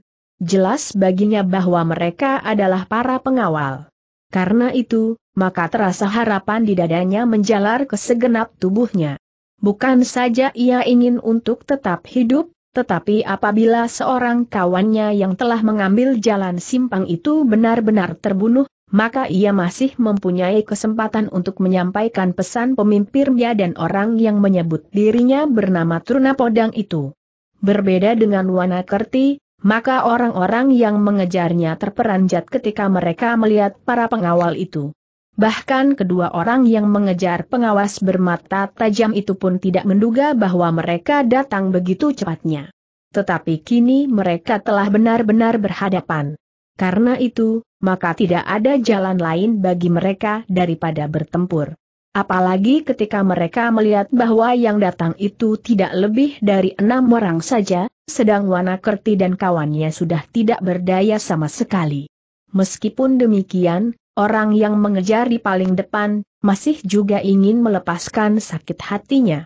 Karena tangannya masih belum sempat menjangkau kawan Wanakerti yang berkuda di belakang, maka tiba-tiba saja ia telah melemparkan pedangnya ke punggung pengawas itu. Para pengawal yang sudah semakin dekat melihat orang itu mengayunkan tangannya, sehingga salah seorang dari mereka telah berteriak. Awas punggungmu. Pengawas yang berkuda di belakang itu berpaling. Ia melihat pedang meluncur ke punggungnya. Dengan sisa-sisa tenaganya ia mencoba menangkis serangan itu, tetapi ia tidak berhasil seluruhnya. Ujung pedang itu sudah terlampau dekat, sehingga ia hanya sempat merubah arahnya tetapi pedang itu masih juga menghunjam di pundaknya. Perasaan sakit yang tajam serasa telah menghentakkan sisa tenaganya. Tanpa sesadarnya tangannya telah menarik kendali kudanya sehingga kudanya berbelok masuk ke dalam semak-semak di pinggir jalur jalan setapak itu. Tetapi sentuhan ranting-ranting pepohonan pada tubuhnya sama sekali tidak tertahan lagi. Sejenak kemudian pengawas itu pun terpelanting dan jatuh di atas dedaunan kering. Tetapi ia sudah tidak dapat merasakan apa pun lagi. Semuanya terasa menjadi gelap. Dan sejenak kemudian lapun menjadi pingsan karenanya. Wana Kerti yang kemudian berpaling, melihat hat itu pula.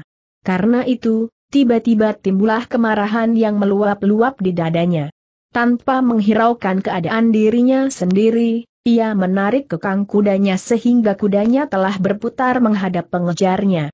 Untunglah bahwa pada saat itu, para pengawal telah sampai di tempatnya pula, sehingga ketika para pengejarnya menyerang Wanakerti yang lemah, beberapa orang pengawal yang lain sekaligus telah melindunginya. Kuda-kuda mereka menyambar dengan dahsyatnya, dan tenaga mereka yang segar telah berhasil menyelamatkan Wanakerti dari sambaran pedang orang-orang yang sedang renarah itu. Seorang pengawal yang lain, langsung memburu ketika ia melihat seorang di antara orang-orang tidak dikenal itu langsung meloncat turun dari kudanya. Ia adalah orang yang telah melemparkan pedangnya. Agaknya ia sedang berusaha mengambil pedangnya yang masih tertancap di pundak salah seorang pengawas yang pingsan itu. Agaknya ia tidak puas setelah ia berhasil menarik pedangnya. Dengan geramnya ia mengayunkan pedang itu ke leher awannya yang sedang pingsan. Tetapi ia terkejut ketika sebuah pedang yang lain telah menyambar pedangnya itu, sehingga hampir saja pedang itu terloncat dari tangannya. Persetan ia menggeram. Ketika ia memutar tubuhnya, seorang pengawal telah menyerangnya sambil duduk di atas punggung kuda. Dengan demikian orang itu terpaksa melayani iawannya. Apalagi iawannya ternyata seorang pengawal yang tangkas. Kudanya pun kuda yang lincah pula, sehingga setiap kali kaki-kaki kuda itu hampir menginjaknya. Sejenak kemudian orang itu berusaha membebaskan dirinya. Kemudian ia berlari ke kudanya sendiri yang masih berdiri termangu-mangu. Tetapi pengawai yang marah, yang melihat seorang kawannya terbaring di tanah tidak membiarkannya. Ia menyangka bahwa kawannya itu telah terbunuh. Karena itu, maka darahnya pun telah mendidih sampai ke kepala. Dengan demikian, selagi lawannya meloncat ke punggung kuda, ia pun telah menyambamnya dengan ujung senjatanya, sehingga lawannya menjadi bingung sejenak. Dengan demikian maka tangannya tidak dapat menguasai kendali kudanya dengan baik, sehingga kudanya pun kemudian berputar sambil meringkik. Saat-saat yang lemah itu ternyata telah mengakhiri semua petualangan yang pernah dilakukannya. Dengan dahsyatnya lawannya menyerangnya, dilambari oleh kemarahan yang meluap-luap. Apalagi pengawal yang datang ini adalah pengawal pilihan yang mampu mempergunakan senjatanya sebaik-baiknya. Maka sebelum ia berhasil menempatkan dirinya di atas punggung kuda, sebuah tusukan yang kuat telah membelah punggungnya. Sekali terdengar ia mengeluh tertahan, kemudian dengan sisa tenaganya ia masih mencoba berpegangan pada suri kudanya. Tetapi sejenak kemudian kedua tangannya pun terlepas, dan orang itu terjatuh di tanah. Darah yang merah membasahi rerumputan di sekitarnya. Ia masih sempat mencoba meraih pedangnya yang terjatuh, tetapi sejenak kemudian ia pun menutup matanya untuk selama-lamanya. Kematian salah seorang dari antara kelima orang yang tidak dikenal itu telah menumbuhkan kemarahan yang meluap-luap pada keempat kawan-kawannya. Hampir berbareng mereka menggeram dan menyerang lawan-lawan mereka dengan garangnya. Senjata mereka berputaran dengan dahsyatnya. Sejenak kemudian arna pertempuran itu pun menjadi semakin dahsyat. Tetapi kini jumlah para pengawai menjadi lebih banyak. Apalagi mereka adalah pengawal-pengawal pilihan yang masih segar, sehingga karena itu, maka mereka pun segera berhasil menguasai keadaan. Keempat orang itulah yang kini dalam keadaan terdesak bagaimanapun juga mereka berusaha tetapi ternyata bahwa ikatan di antara mereka agak berbeda dari ikatan kesatuan para pengawal. Orang-orang itu lebih mementingkan keselamatan diri mereka sendiri daripada kesetia kawanan. Dengan demikian, ketika mereka merasa bahwa mereka sudah tidak akan dapat bertahan lagi, maka mulailah mereka berpikir untuk menyelamatkan diri. Namun demikian, mereka sama sekali tidak saling menghiraukan yang satu dari yang lain. Di dalam keadaan yang sulit, mereka harus dapat berusaha menyelamatkan diri masing-masing. Bahkan kalau perlu, salah seorang dari mereka dapat dikorbankan oleh kawan-kawan mereka sendiri. Sejenak kemudian, maka usaha untuk menyelamatkan diri itu pun sudah mulai mereka lakukan. Salah seorang dari keempat orang yang sedang bertempur itu, dengan serta-merta telah memacu kudanya menembus semak-semak dan hilang di dalam rimbunnya di daunan. Hal serupa itu sama sekali memang tidak terduga-duga. Karena itu, pengawal yang sedang menghadapinya justru tertegun sejenak. Namun mereka tidak ingin kehilangan orang itu, sehingga ketika mereka menyadari keadaan maka dua orang dari para pengawai itu telah berusaha mengejarnya. Yang lain, yang masih bertempur di arna itu pun ternyata berusaha juga untuk dapat menyelamatkan diri. Namun ketika salah seorang dari mereka sudah mendahului, para pengawal itu pun menjadi semakin hati-hati. Malanglah nasib salah seorang dari orang-orang yang tidak dikenal itu. Ketika ia mencoba melarikan dirinya, maka sebuah ujung pedang telah menggores lehernya. Meskipun demikian, ia masih tetap bertahan di atas punggung kudanya untuk beberapa saat. Tetapi akhirnya ia pun terlempar dari punggung kudanya yang berlari seperti angin. Yang tinggal kemudian adalah dua orang dari antara mereka. Keduanya masih berkelahi mati-matian. Tetapi mereka pun sedang berusaha mendapat kesempatan untuk lari. Namun kesempatan itu benar-benar telah menjadi semakin sempit, karena para pengawal sudah mengetahui bahwa tiba-tiba saja mereka dapat meninggalkan gelanggang. Namun ternyata kedua orang ini pun sama sekali tidak ingin menyerah, mereka telah berjuang dengan segenap tenaga yang ada padanya. Bahkan ketika hampir seluruh tubuh mereka telah dibasahi oleh keringat dan darah, mereka masih juga belum menyerah. Wana Kerti yang lemah, sama sekali tidak dapat lagi ikut di dalam pertempuran itu. Kudanya berdiri menepi, sedang Wana Kerti dengan susah payah mencoba untuk meloncat turun. Perlahan-lahan ia melangkahkan kakinya yang serasa menjadi terlampau berat mendekati seorang kawannya yang masih terbaring di tanah.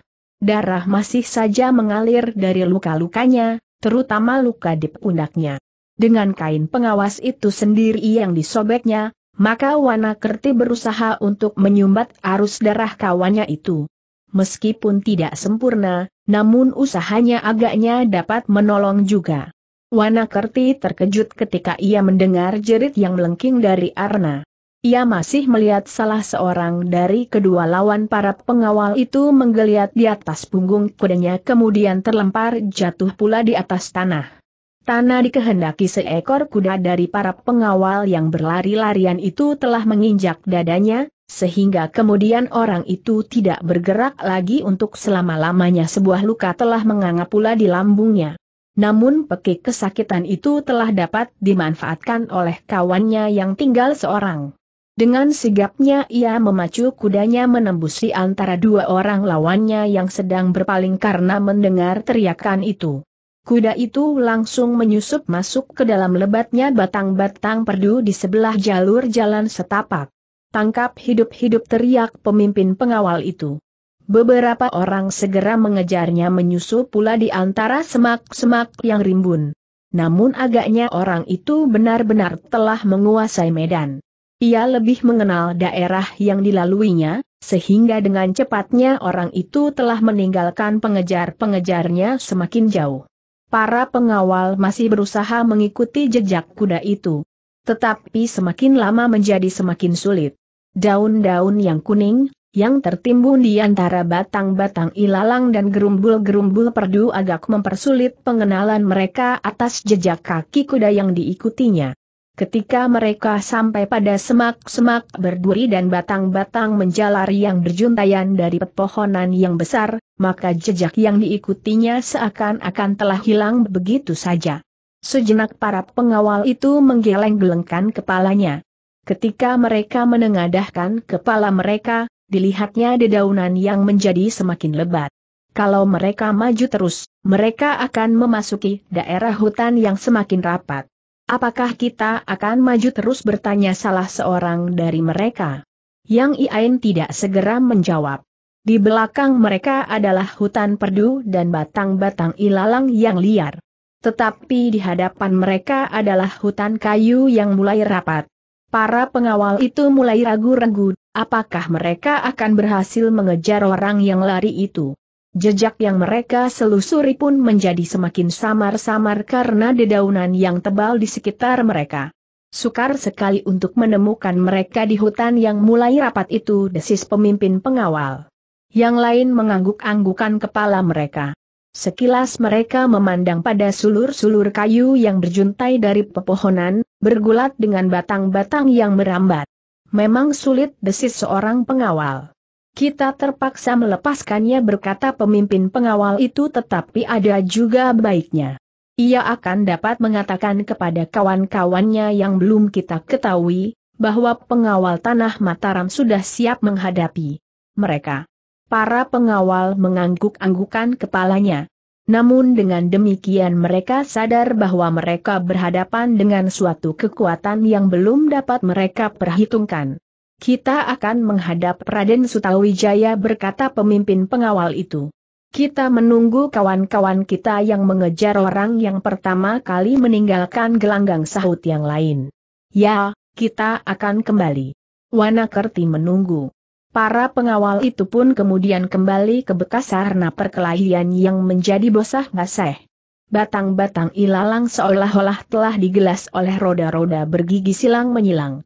Ketika para pengawal itu sampai, mereka melihat kawan-kawannya pun telah berada di tempat itu pula menunggu Wana Kerti yang meskipun sudah sangat lemah, tetapi masih juga berusaha menolong kawannya yang sedang pingsan. Ia masih belum sadar desis Wana Kerti. Para pengawal itu pun segera berjongkok di sampingnya. Mereka dengan berdebar memandang wajah pengawas yang pucat dan mata yang terpejam. Tiba-tiba pemimpin pengawal itu bergeser maju. Dirabanya dada pengawas itu, dan bahkan kemudian dilekatkannya telinganya. Dengan wajah yang tegang, tangannya meraba mata pengawas itu dan dibukanya sedikit. Kenapa bertanya Wanakerti? Pemimpin pengawas itu menarik nafas dalam-dalam. Kemudian dengan suara yang berat ia berkata ia sudah meninggal. Hiwana Kerti mengerutkan keningnya ia sudah meninggal pemimpin pengawas itu mengangguk. Kepala Kiwana Kerti pun segera tertunduk dalam-dalam merenungi wajah kawannya itu. Terasa tenggorokannya seakan-akan telah tersumbat. Ia telah berjuang bersamanya selama perjalanan yang meskipun tidak terlampau jauh, tetapi cukup berat itu. Ia sudah mendahului kita di dalam tugasnya. Ya, ia sudah gugur di dalam perjuangan menegakkan tanah Mataram yang sedang tumbuh ini. Para pengawal yang lain pun telah menundukkan kepala mereka pula. salah seorang kawan mereka telah gugur menghadapi rahasia yang masih samar-samar yang tersembunyi di belakang alas mentawok. Rahasia tentang hantu-hantu itu masih belum terpecahkan, dan kini mereka menghadapi rahasia baru yang tidak kalah rumitnya. Namun setiap pengawal itu mulai menghubung-hubungkan di dalam hatinya, apakah tidak ada sangkut pautnya kedua rahasia yang besar yang tersimpan di dalam lebatnya hutan mentaok itu. Sejenak kemudian maka pemimpin pengawal itu pun berkata marilah, kita bawa tubuhnya ke pusat tanah Mataram. Wana Kerti mengangguk-anggukan kepalanya. Tetapi sebelumnya kita akan mengubur dulu mayat-mayat itu, pemimpin pengawal itu melanjutkan. Maka mereka pun kemudian mengubur mayat-mayat yang terbunuh di dalam peperangan. Karena mereka tidak dapat menggali tanah cukup dalam, maka di atas Kuburan itu telah ditimbun batu-batu besar, agar tidak diganggu oleh binatang buas yang berkeliaran terutama di malam hari. Demikianlah maka para pengawal itu pun kemudian kembali ke pusat tanah Mataram. Mereka hanya dapat menyelamatkan Wanakerti, sedang kawannya tidak lagi dapat menghindarkan diri, berkorban untuk daerah yang baru dibuka itu. Aku kehilangan kedua kawanku Dasis Wanakerti di sepanjang jalan. Siapa? Yang seorang lagi, yang bermata tajam, yang seharusnya menyampaikan berita tentang daerah kami itu kami sudah berusaha memancing para pengejam ya tetapi mereka pun telah membagi diri. Ketika mereka kembali mereka mengatakan bahwa kawanku itu pun sudah terbunuh. Pemimpin pengawal itu mengerutkan keningnya. Katanya tidak. Kawanmu sama sekali tidak terbunuh. Orang itulah yang memberitahukan kepada kami, bahwa kau telah terjepit berperjalanan karena kau memancing orang-orang yang mengejarmu, dan memberi kesempatan kepada kawanmu itu untuk berpacu terus. Jadi orang itu masih hidup. Ya, dan ia sudah menyampaikan pesan yang dibawanya kepada Raden Sutawijaya, karena ia dapat langsung menghadapnya. Kiwana Kerti menarik nafas dalam-dalam, syukurlah. Tuhan telah melindungi perjalanannya. Kalau ia gagal, Aku kira, aku pun telah mati terbunuh pula di dalam perkelahian ini. Tetapi, meskipun aku selamat, seorang kawanku telah meninggal. Tidak seorang pun yang menyaut. Namun kuda mereka masih berlari di jalan setapak, kembali ke pusat tanah Mataram. Dalam pada itu, Raden Sutawijaya sudah menghadap Ayahanda Ki Gede Pemanahan, dan menyampaikan segala sesuatu yang didengarnya dari pengawas bermata tajam itu. Ki Gede Pemanahan mendengarkan keterangan putranya dengan saksama. Sekalis wajahnya menegang dan sesekali mengangguk-anggukan kepalanya.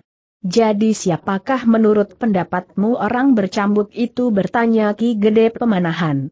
Sutawijaya tersenyum sambil menjawab tidak ada duanya di dunia. Orang itu pasti Kiai Gringsing dani murid-muridnya. Ki Gede Pemanahan mengangguk-anggukan kepalanya ya. Pasti orang itu. Apakah kau ingin menemuinya? Bagaimana dengan ayahanda? Sebenarnya aku juga ingin bertemu dengan orang yang menyebut dirinya bernama Kiai Gringsing itu. Tetapi ketika aku datang ke Sangkal Putung di saat-saat pasukan terakhir dari Tohpati menyerah, agaknya orang itu sengaja menghindarkan dirinya, meskipun ia tidak menghindar darimu. Aku tidak tahu, kenapa ia berbuat begitu. Karena itu, sekarang sebaiknya kau sajalah yang datang ke tempat itu.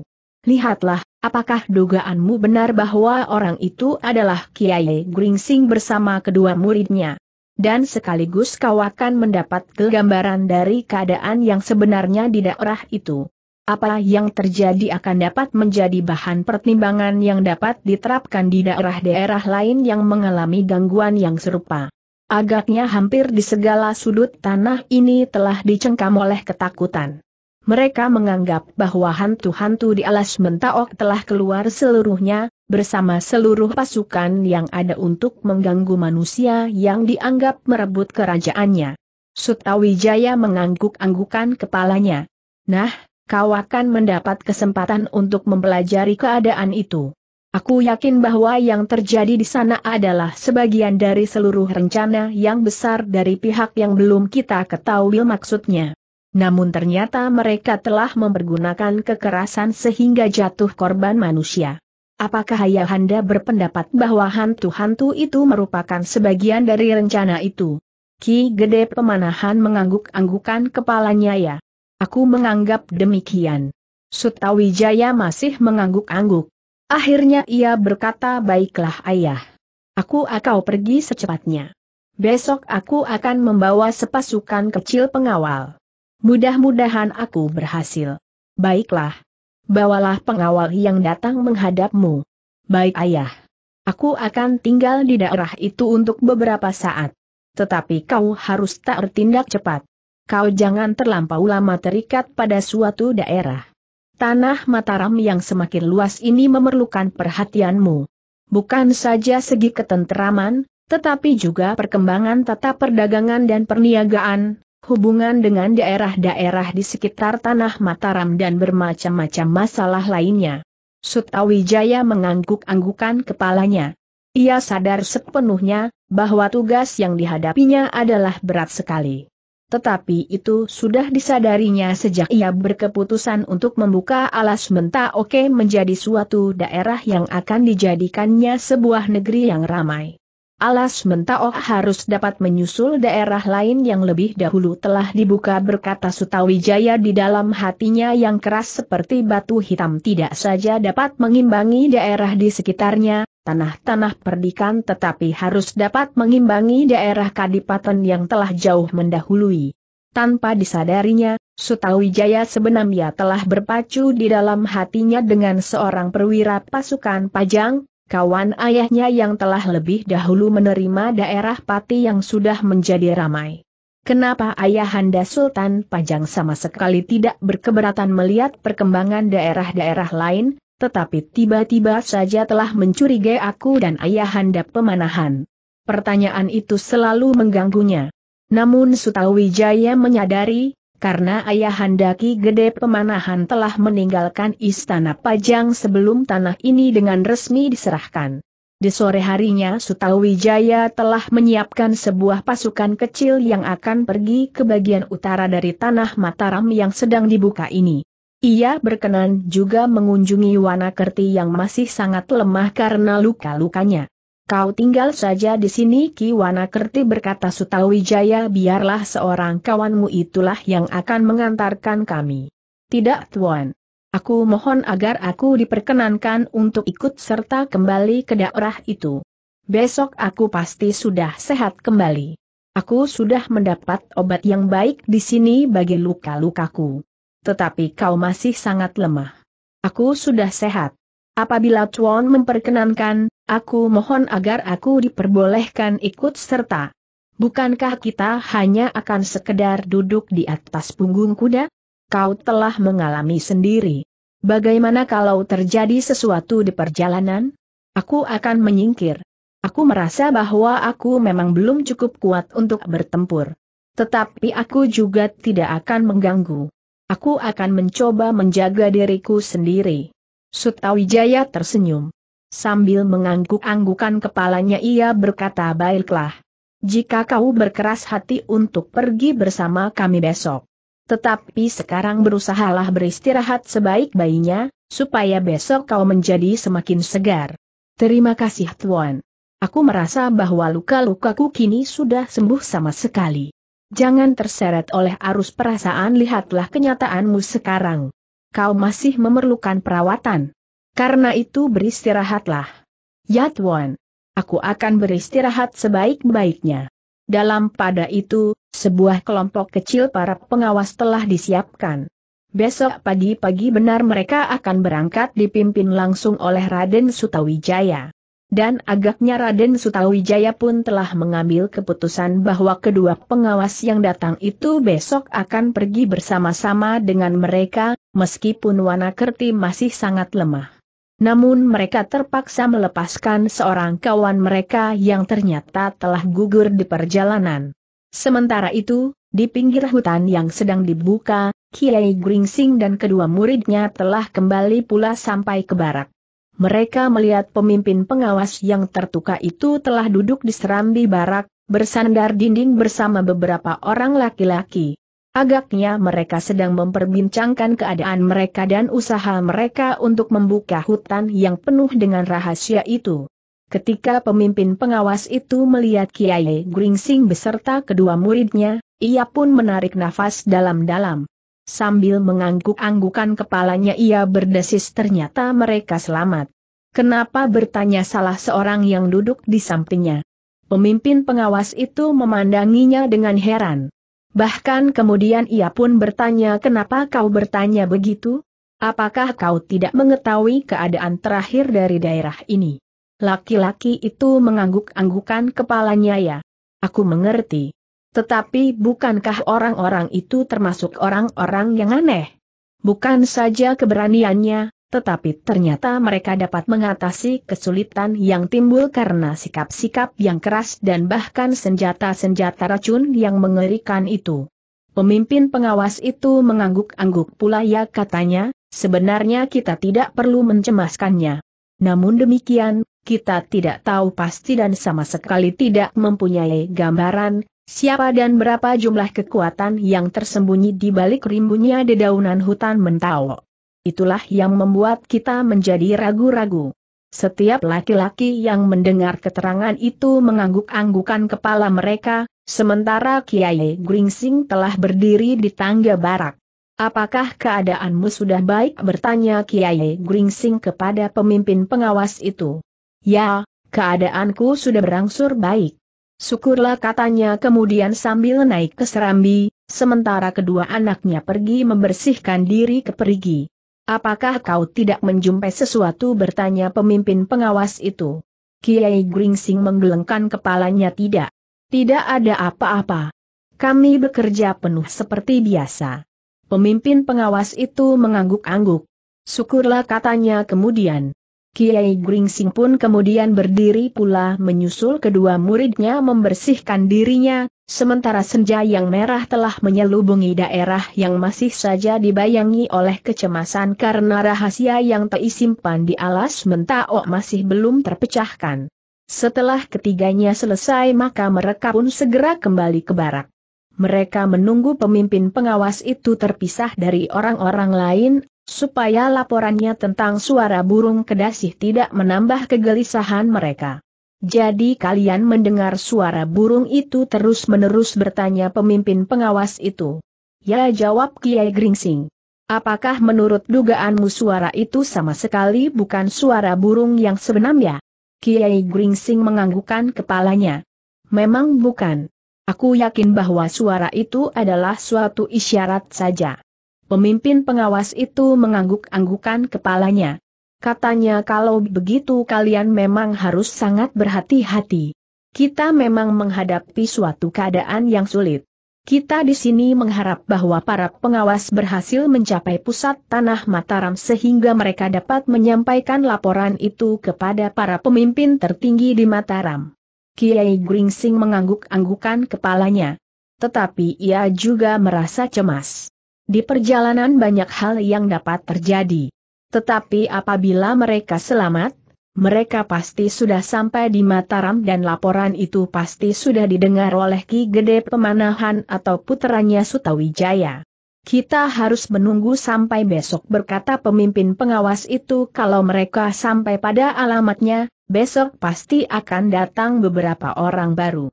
Kiai Gringsing mengangguk-anggukan kepalanya. Namun di dalam kepalanya berkecamuk berbagai masalah yang dapat terjadi malam nanti. Meskipun mereka hanya harus menunggu semalam, tetapi yang semalam itu akan dapat terjadi banyak persoalan. Apalagi apabila para pengawas itu tidak berhasil mencapai Mataram. Maka keadaan pasti akan menjadi lebih sulit lagi. Demikianlah ketika malam turun, Kiai Gringsing mulai membagi tugas dengan murid-muridnya kedua muridnya harus pergi ke barak yang lain untuk memberikan sedikit ketenangan kepada orang-orang yang tinggal di sana. Sementara Kiai Gringsing bersama pemimpin pengawas yang terluka itu tinggal di barak itu. Kalau terjadi sesuatu yang tidak dapat kalian atasi sendiri, kalian harus memberikan tanda berkata gurunya di sana ada sebuah kentongan kecil. Pergunakanlah apabila perlu. Aku pun akan berbuat serupa.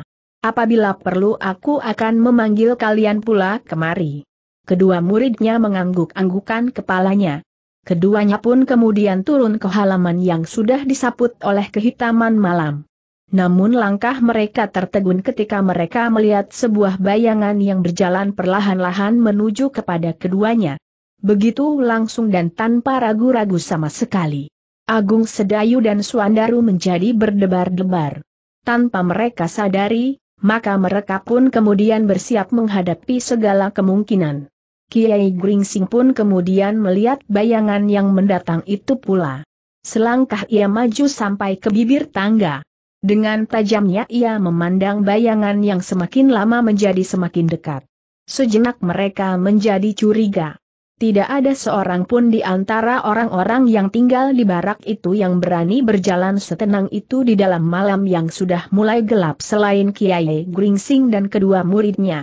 Tetapi bayangan itu agaknya sama sekali tidak terpengaruh oleh keadaan di sekitarnya. Semakin dekat, Kiai Gringsing menjadi semakin jelas siapakah yang datang itu. Bahkan kemudian ia pun turun ke halaman sambil berdesis kepada kedua muridnya Adi Sumangkar. Paman Sumangkar hampir berbareng kedua muridnya mengulang.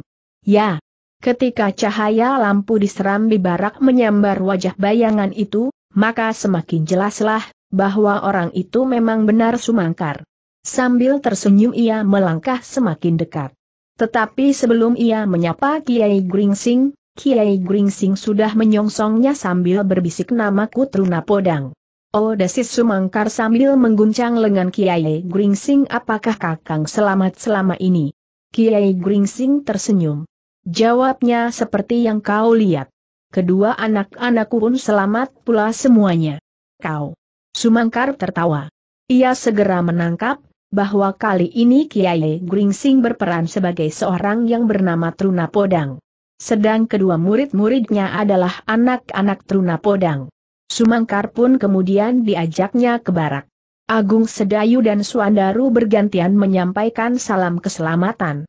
Tetapi berkata Kiai Gringsing kedatanganmu membuat aku berdebar-debar. Sumangkar mengangguk-anggukan kepalanya, katanya aku memang sudah menyangka, bahwa kedatanganku akan membuat kalian di sini berdebar-debar. Tetapi aku tidak membawa kabar apa-apa yang mendebarkan itu. Kiai Gringsing pun mengangguk-angguk pula.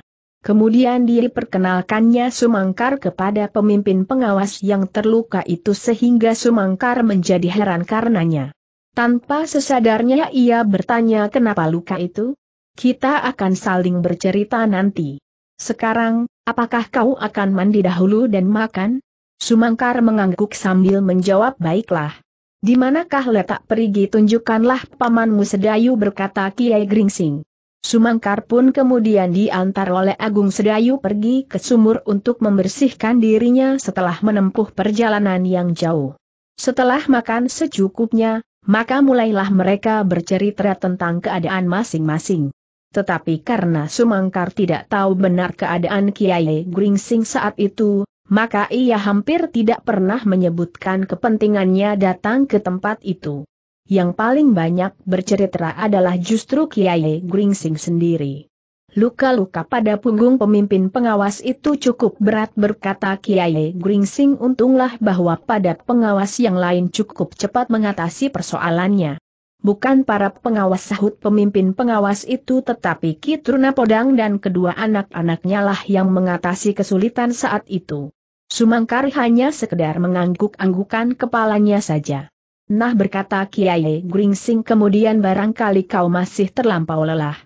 Kau memerlukan istirahat. Ya, aku lelah sekali.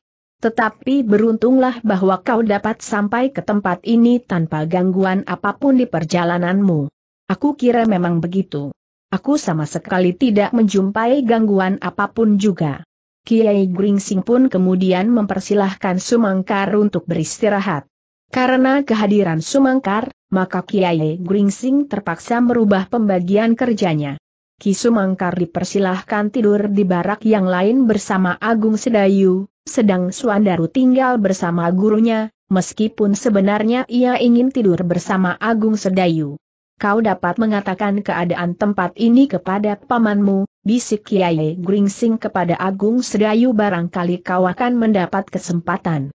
Dan kau dapat bertanya kepadanya, kenapa ia datang ke tempat ini. Baik guru sahut Agung Sedayu perlahan-lahan. Keduanya pun kemudian pergi ke barak yang lain, yang dihuni oleh perempuan-perempuan dan laki-laki yang bertugas di dapur yang pada umumnya adalah laki-laki tua dan anak-anak. Di sepanjang jalur jalan setapak yang menghubungkan kedua barak itu, Agung Sedayu sudah mulai menceritakan keadaan daerah yang baru dibuka itu. Kemudian diceritakannya pula, kematian-kematian yang terjadi, bahkan mayat-mayat yang telah hilang. Untunglah gurumu seorang dukun yang luar biasa desis Sumangkar. Ya, untung sajalah. Dan apakah bahaya itu sampai saat ini masih mengancam? Justru kita berada di dalam keadaan yang menegangkan. Kami berbesar hati bahwa tiba-tiba saja paman datang, seakan-akan paman sudah mengetahui kesulitan kami. Aku sama sekali tidak tahu kesulitan itu. Aku justru datang atas permintaan. Ki Demang sangkal putung untuk menjemput anaknya dan Ka sama sekali. Terutama Nyai Demang disangkal putung sudah sangat rindu kepada anaknya yang gemuk itu. Agung Sedayu mengangguk-anggukan kepalanya. Memang Suandaru telah meninggalkan ibunya untuk waktu yang terlampau lama. Sebagai satu-satunya anak laki-laki, maka sudah sewajarnya kalau ibunya terlampau merindukannya, apalagi selama itu ia tidak tahu dengan pasti kabar beritanya. Dan paman dapat langsung menemukan kami di barak itu bertanya Agung Sedayu kemudian. Tidak. Aku menjelajahi beberapa bagian dan hutan yang sedang dibuka itu. Aku sudah sampai di gardu pengawas yang kosong. Kemudian menyusur sepanjang jalan yang agaknya setiap hari dilalui oleh para pekerja yang sedang membuka hutan ini. Maka aku pun sampai pula di barak ini adalah kebetulan sekali, aku menjumpai kalian. Kalau tidak, aku pasti akan bertanya tentang seorang tua yang bernama Kiai Gringsing dan kedua muridnya yang bernama Agung Sedayu dan Suandaru Geni. Agung Sedayu tersenyum. Sambil mengangguk-anggukan kepalanya ia berkata guru memang mempergunakan nama lain. Tetapi itu sudah hampir tidak berarti lagi, karena kami di sini sudah melibatkan diri dalam pergulatan yang semakin lama agaknya akan menjadi semakin seru. Sumangkar mengangguk-anggukan kepalanya.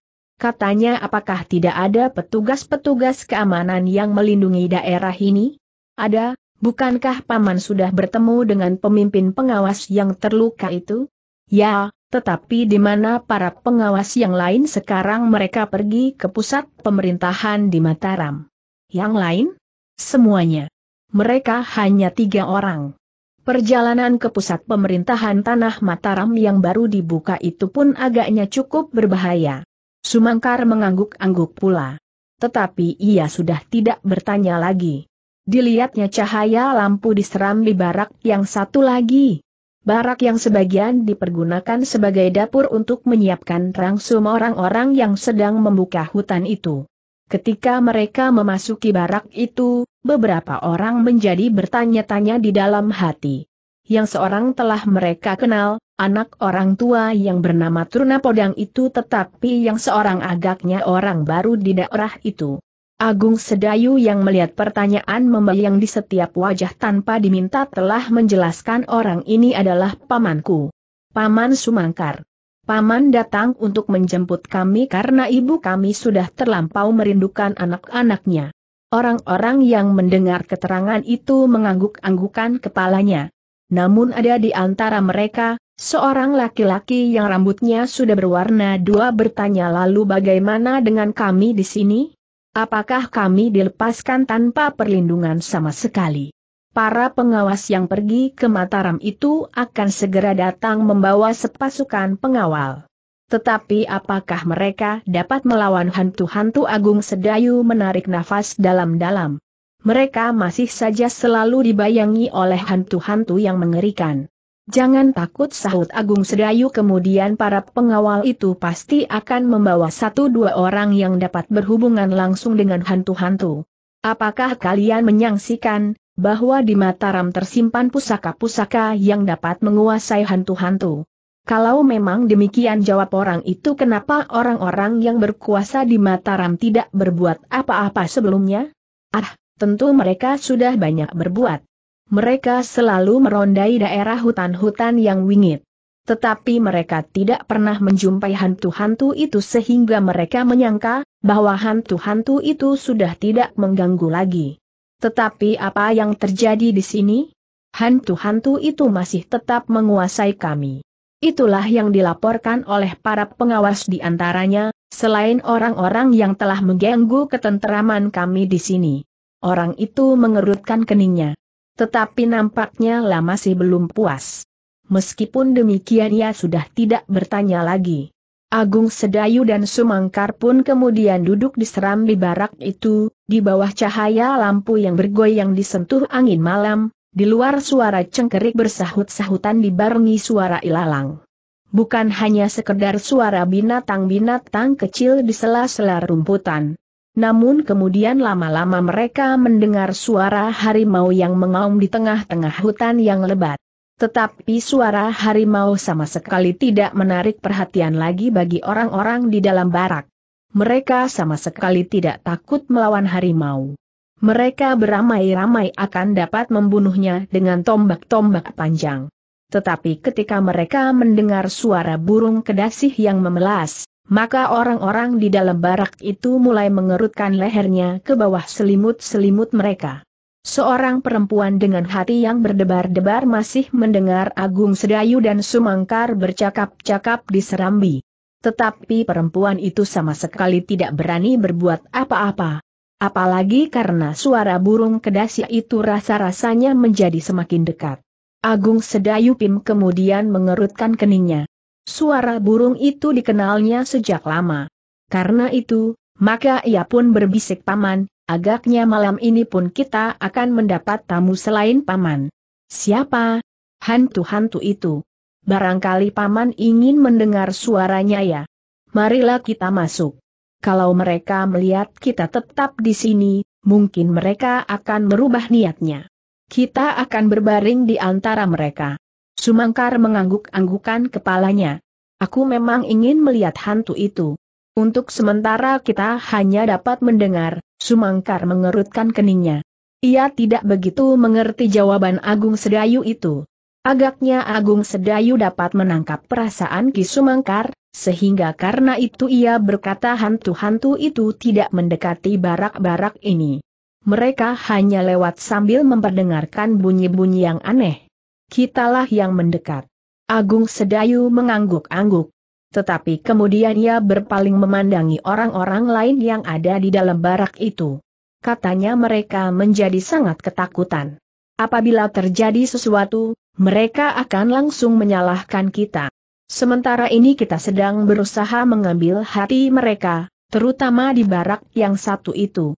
Kalau kita berhasil membuka hati mereka meskipun perlahan-lahan, pekerjaan kita akan lebih mudah lagi para pengawas agaknya sudah mulai terbuka hati dan tanggapannya terhadap hantu-hantu itu. Tetapi para penghuni yang lain agaknya belum. Kisumangkar mengerutkan keningnya pula. Perlahan-lahan ia bergumam seperti ditujukan kepada diri sendiri. Lalu kapan tugas ini selesai? Semuanya harus dikerjakan lambat laun dan telaten. Padahal Ki Demang Sangkal Putung suami istri sudah begitu rindunya kepada Suandaru dan betapa rindunya pula kepada suatu peristiwa yang akan menyangkut hidup keluarga mereka. Apa itu Paman bertanya Agung Sedayu? Kalau aku boleh berterus terang, Ki Demang suami istri sudah sangat ingin menimang seorang cucu. Ah Agung Sedayu menundukkan kepalanya. Sedang wajahnya tiba-tiba menjadi kemerah-merahan. Ki Demang sudah mendengar berita yang aku sampaikan kepadanya, bahwa anak laki-lakinya sudah mengikat diri dengan seorang gadis menoreh, pandan wangi. Sedang masalah mungger, Ki Demang suami istri sudah mengetahui jauh sebelumnya. Agung Sedayu mengangguk-anggukan kepalanya. Kalau masalah pinggiran hutan ini mengikat kalian di sini, lalu kapan kalian akan kembali ke Sangkal Putung? Apakah kalian juga akan menunggu daerah ini menjadi kota dari berkembang menjadi suatu negeri? Agung Sedayu menggulengkan kepalanya. Katanya aku tidak tahu paman. Terserah kepada guru kelak. Apakah kita akan segera kembali, atau masih ada masalah yang kita tunggu di sini? Sebenarnya aku ingin berbicara dengan Kiai Gringsing. Tetapi malam ini aku ditaruhnya di sini, sehingga aku tidak dapat berbincang. Agaknya aku tahu maksudnya. Ia sedang memusatkan perhatiannya kepada daerah ini, sehingga ia tidak mau terganggu. Agung Sedayu tidak menyaut namun tanpa sesadarnya kepalanya masih juga terangguk-angguk. Sejenak keduanya pun kemudian saling berdiam diri. Angin malam yang sejuk mengusap kening mereka. Namun Agung Sedayu kemudian mengangkat kepalanya ketika ia mendengar suara gemerincing di kejauhan. Nah, mereka datang di sisi Agung Sedayu. Marilah kita masuk dan berbaring di dalam. Sumangkar mengerutkan keningnya. Katanya kalau begitu caramu, Sampai kapan kau akan menemukannya? Guru telah membuat rencana. Guru tidak ingin menangkap hantu-hantu kecil itu. Guru ingin mengetahui sampai di manakah permainan mereka itu akan berlangsung dan siapakah sebenarnya yang berdiri di paling belakang. Sumangkar mengangguk-angguk. Ia pun kemudian dengan tergesa-gesa masuk ke dalam barak. Seperti biasanya, pintu barak itu tidak pernah tertutup rapat tetapi keduanya tidak akan dapat mengintainya dari balik pintu, karena justru di luar malam menjadi semakin gelap. Suara gemerincing itu semakin lama menjadi semakin dekat. Kemudian beberapa kali mengelilingi barak itu. Namun suara gemerincing itu tidak juga segera pergi seperti biasanya. Bahkan semakin lama menjadi semakin dekat. Agung Sedayu menjadi berdebar-debar. Kali ini hantu-hantu itu agak menyimpang dari kebiasaannya.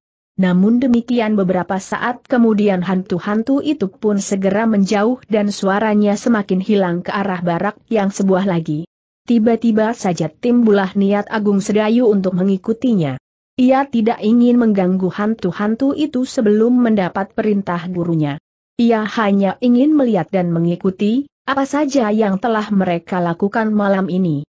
Ketika ia mengatakan niatnya kepada Kisumangkar, orang tua itu pun menyetujuinya.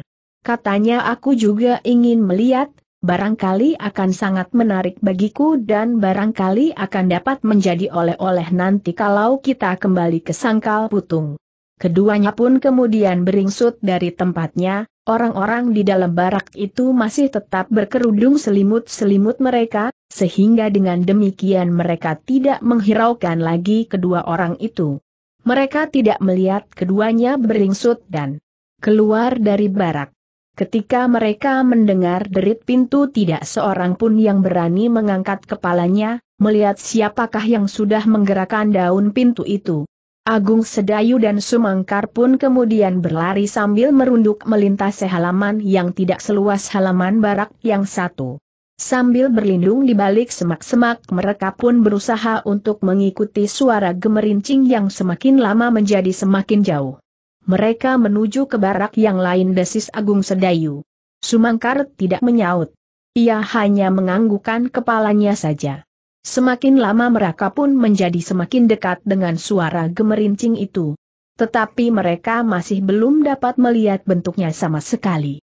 Karena itu mereka pun menjadi semakin maju, sehingga mereka menjadi semakin mendekati barak yang ditunggui oleh Kiai Gringsing dan Swandaru. Dalam pada itu, orang-orang di barak itu pun telah menjadi ketakutan. Meskipun mereka mencoba untuk menguasai nalar mereka, tetapi mereka benar-benar telah diterkam oleh ketakutan. Mereka tidak dapat melepaskan tekanan perasaan yang selama ini telah mencengkam jantung mereka, sehingga bagaimanapun juga suara gemerincing itu masih membuat mereka gemetar. Bahkan pemimpin pengawas yang terluka itu masih juga menjadi berdebar-debar.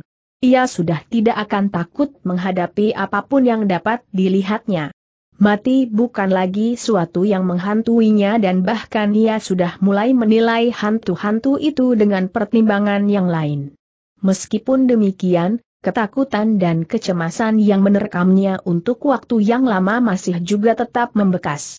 Betapapun juga ia menimbang dengan akal, namun suara gemerincing itu masih tetap mendebarkan jantungnya.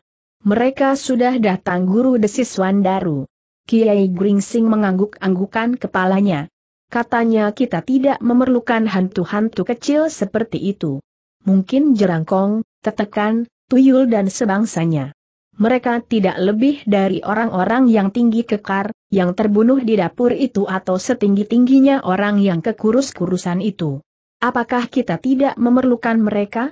Mereka pasti akan dapat memberikan beberapa keterangan tentang gerakan yang telah mereka lakukan selama ini. Tidak banyak yang mereka ketahui. Tetapi itu akan lebih baik daripada kita tidak mendapat keterangan apa pun juga guru. Swandaru berkata gurunya mungkin kita mendapat beberapa penjelasan dari mereka. Tetapi akibatnya, tingkat yang lebih tinggi dari mereka akan segera mempersiapkan diri. Mungkin mereka dapat menghapus hal-hal yang diketahui oleh hantu-hantu kecil itu karena memang tidak terlampau banyak. Jadi bagaimana maksud guru? Aku ingin mengalami bahwa beberapa orang dari mereka, termasuk orang-orang pentingnya datang mengunjungi kita di tempat kerja kita itu. Swandaru mengangguk-anggukan kepalanya. Sementara suara gemerincing itu pun menjadi semakin dekat. Namun karena itu, orang-orang di sekitar Swandaru dan gurunya itu pun, sudah menyelimuti diri mereka rapat-rapat. Bahkan pemimpin pengawas yang duduk di sudut ruangan menjadi pucat pula, meskipun ia masih tetap bertahan di tempatnya. Kiai Gringsing dan Swandaru pun kemudian saling berdiam diri. Mereka memperhatikan suara yang semakin lama menjadi semakin dekat itu. Dan kemudian seperti biasanya, pada jarak tertentu suara itu mengitari barak beberapa kali. Namun kali ini, suara gemerincing itu tidak juga segera pergi menjauh. Suara itu justru menjadi titik semakin mendekat. Swandaru memandang wajah Kiai Gringsing yang menegang. Tetapi Kiai Gringsing masih tetap duduk di tempatnya.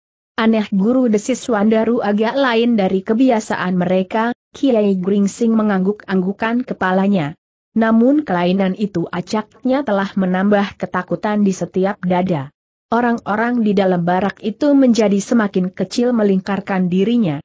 Selimut mereka menjadi semakin rapat menutun seluruh tubuh orang yang berbaring di samping Suandaru, dan masih juga mendengar Suandaru berdesis, mencengumpat di dalam hatinya oh, anak gila. Apa saja yang mereka percakapkan? Benar juga pendapat orang yang kekurus-kurusan itu. Kekerasan hatinya dapat menumbuhkan bencana. Tetapi Suandaru masih juga berdesis, dan orang-orang yang berbaring tidak jauh daripadanya masih mendengar, meskipun mereka tidak mengerti isinya. Dan Suandaru memang masih berkata mereka justru mendekat guru. Kiai Gringsing mengangguk-anggukan kepalanya. Ia pun kemudian berkata kita menghadapi persoalan yang khusus. Karena itu bersiaplah. Mungkin kita memerlukan penyelesaian yang khusus kali ini. Suandaru mengerutkan keningnya. Namun tiba-tiba ia tersenyum sambil meraba senjatanya. Aku ingin menangkap tuyul guru. SSST gurunya berdesis. Keduanya menjadi tegang. Apalagi pengawas yang masih duduk di tempatnya. Lukanya rasa-rasanya menjadi semakin parah dan wajahnya pun bertambah pucat. Apalagi orang-orang yang sudah menjadi semakin ketakutan yang berbaring semakin rapat bersembunyi di bawah selimut. Dengan demikian maka suasana di dalam barak itu benar-benar dibayangi oleh ketakutan yang luar biasa. Nafas-nafas menjadi sesak, dan darah serasa berhenti di urat nadi, karena jantung telah berhenti berdenyut. Sejenak kemudian suara gemerincing itu menjadi semakin dekat. Agaknya beberapa langkah saja dari dinding barak. Tetapi justru dinding belakang. Dan akhirnya suara gemerincing itu tidak beringsut lagi. Meskipun suaranya menurun, tetapi setiap orang di dalam barak itu sadar, bahwa hantu-hantu itu masih tetap berada di belakang barak mereka. Sejenak kemudian, jantung mereka serasa terlepas dari tangkainya ketika dari belakang barak itu terdengar suara tertawa terkekeh-kekeh, seperti suara seorang kakek yang sedang kegirangan. Atau di dalam pendengaran orang-orang yang ketakutan itu, seperti suara hantu yang mendapat sesosok mayat baru. Mengerikan sekali.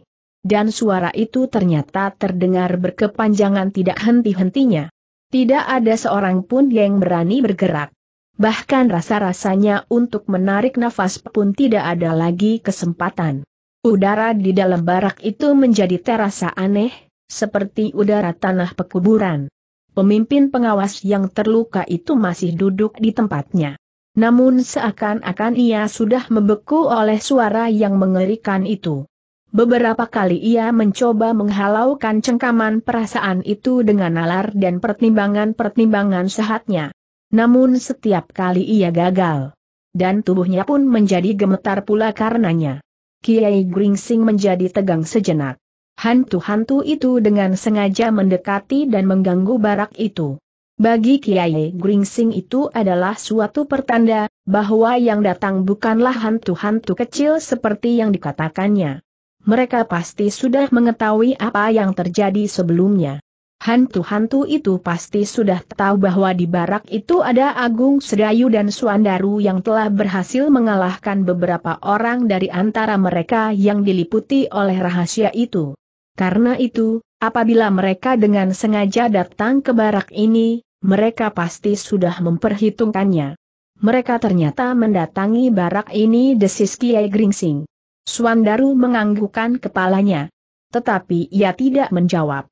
Hati-hatilah desis gurunya kalau mereka berani berbuat demikian, mereka pasti sudah membuat perhitungan-perhitungan tertentu.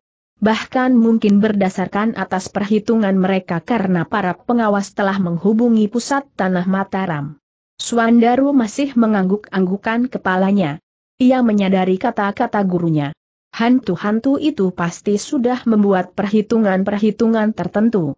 Karena itu, ia memang harus berhati-hati. Kau sudah menelan sebutir obat siang tadi. Obat itu pasti masih berpengaruh atasmu. Apabila kau tersentuh racun dari hantu-hantu yang barangkali karena putus asa atau kehabisan akal akan menyerang kita, kau masih dapat bertahan, demikian juga Agung Sedayu. Kita di sini tidak tahu apa saja yang dikerjakannya sekarang. Suandaru memandang gurunya sejenak, lalu apakah kita akan menunggu mereka, atau kita akan keluar dari barak ini? Kita akan melihat perkembangan keadaan, belum lagi Kiai Gringsingdam sama sekali, terdengar suara tertawa itu meninggi. Kemudian melengking mengerikan. Dari sela-sela suara yang masih berkepanjangan itu terdengar suara yang lain hi penghuni barak yang bodoh. Ternyata suara itu benar-benar telah mengguncang setiap hati, sehingga beberapa orang hampir menjadi pingsan karenanya. Mereka menjadi semakin ketakutan mendengar suara yang bercampur baur di belakang barak mereka itu. Ada kesalahan yang besar yang telah kalian lakukan, Suara itu masih menggetar di antara suara tertawa yang tidak terputus. Aneh guru Swandaru tiba-tiba berdesis. Apa yang aneh bertanya gurunya. Suara itu, bagaimana mungkin seseorang dapat berbicara sambil tertawa dengan suara yang melengking-lengking itu? Kau yang aneh kenapa aku? Seharusnya kau tidak bertanya demikian. Apakah ada ketentuan dari mana pun, bahwa hantu-hantu tidak boleh datang berdua? bertiga atau barangkali berpuluh-puluh yang telah mengepung barak ini? Oswandaru mengangguk-anggukan kepalanya pula. Ya, mereka pasti datang dalam jumlah yang cukup. Dalam pada itu suara dari belakang barak itu berkata terus karena itu, kami menuntut agar kalian menyesali kesalahan itu. Suara itu seakan-akan bergema di seluruh luangan barak yang membujur panjang itu, dan singgah di setiap telinga sehingga orang-orang yang ada di dalamnya menjadi semakin ketakutan. Seandainya tubuh mereka disayat pisau pun agaknya tidak akan dapat menitikan setetes darah yang masih merah. Kalian telah membuat beberapa kematian justru orang-orang yang dapat mengerti tentang kami justru orang-orang yang paling baik di antara kalian, dan yang bersedia bersama dengan kami. Orang-orang itulah yang selama ini menjadi jembatan di antara kita. Tetapi orang-orang itu justru sudah kalian bunuh suara itu berhenti sejenak. Dan yang terdengar kemudian bagaikan seekor harimau yang menggeram. Lalu sudah tentu kami akan menuntut balas. Mereka adalah orang-orang yang baik, sehingga karena itu nilai mereka bagi kami berbanding satu dengan sepuluh. Seorang dari orang-orang yang baik itu, akan kami tuntut ganti sepuluh orang dari antara kalian. Tubuh-tubuh yang terbaring di dalam barak itu menjadi semakin gemetar. Tidak seorang pun yang berani bergerak sama sekali.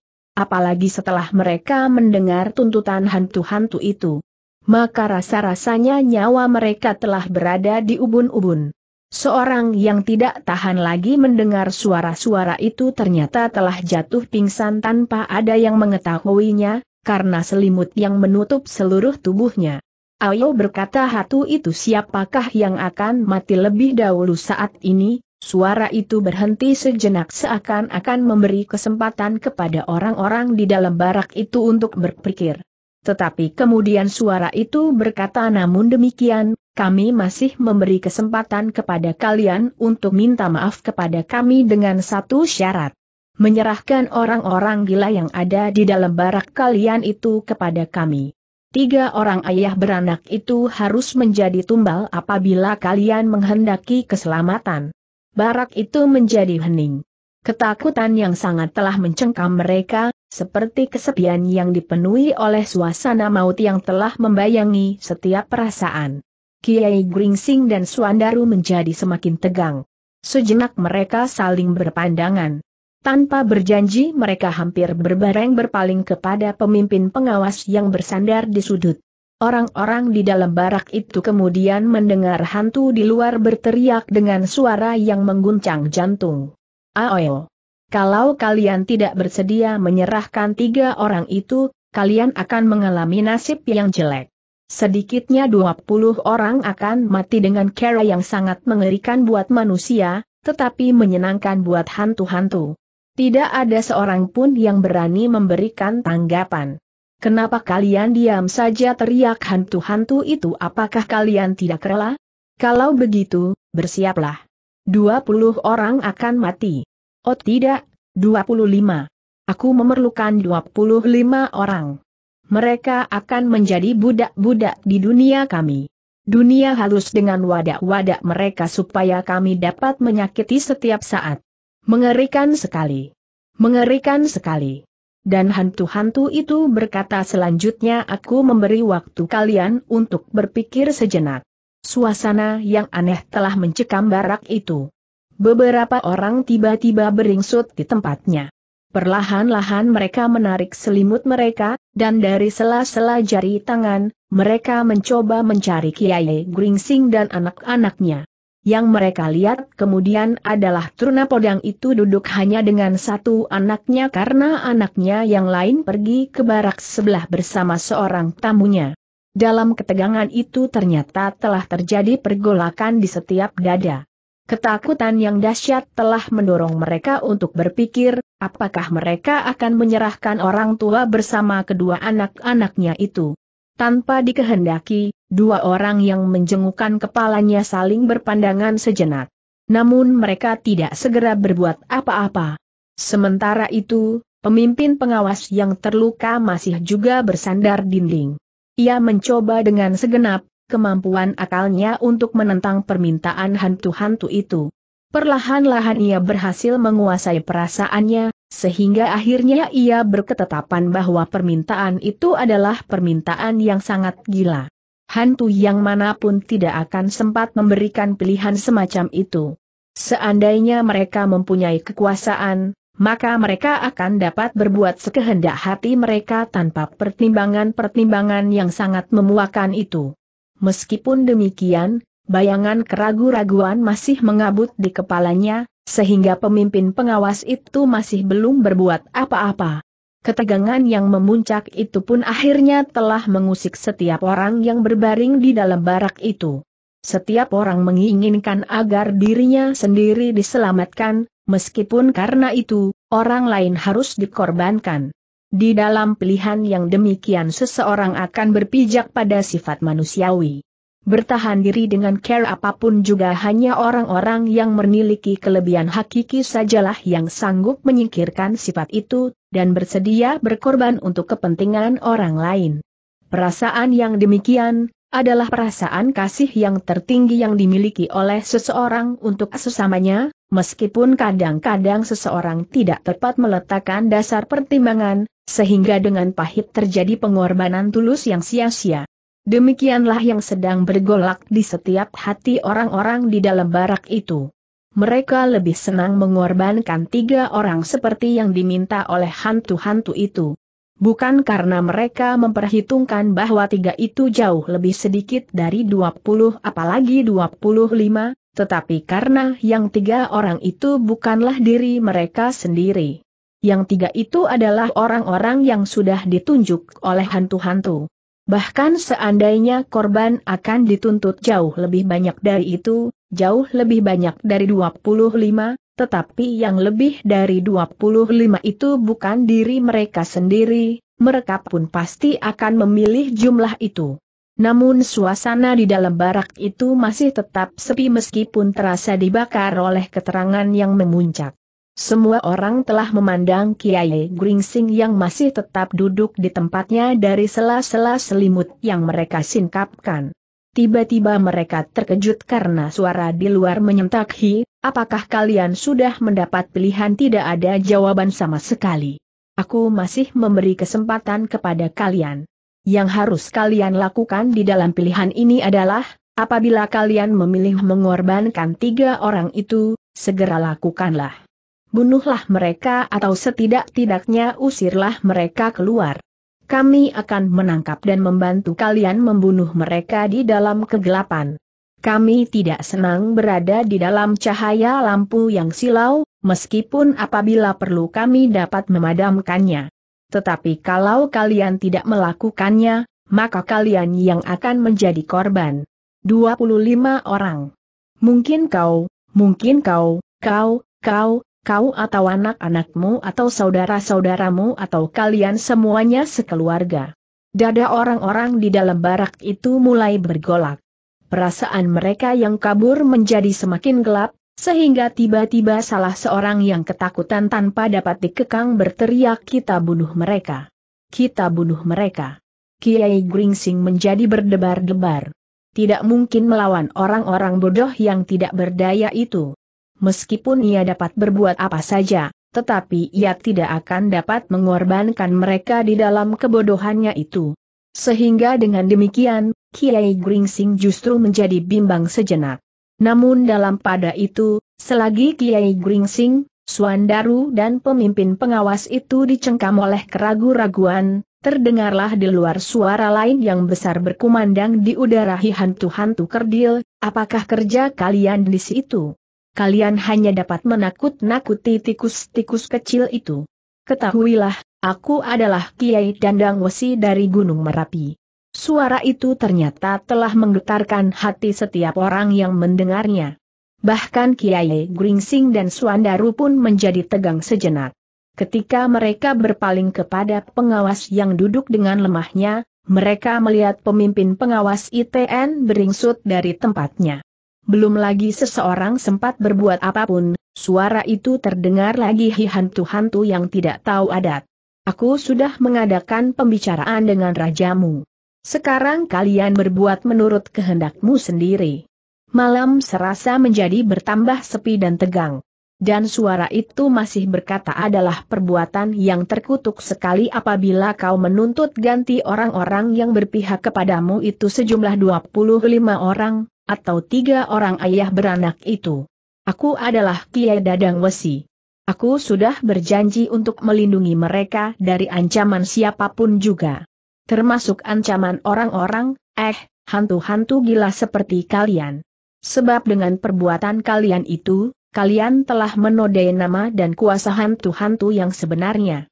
Sebagai utusan dari Gunung Merapi, aku memperingatkan, agar kalian melepaskan tuntutan kalian itu.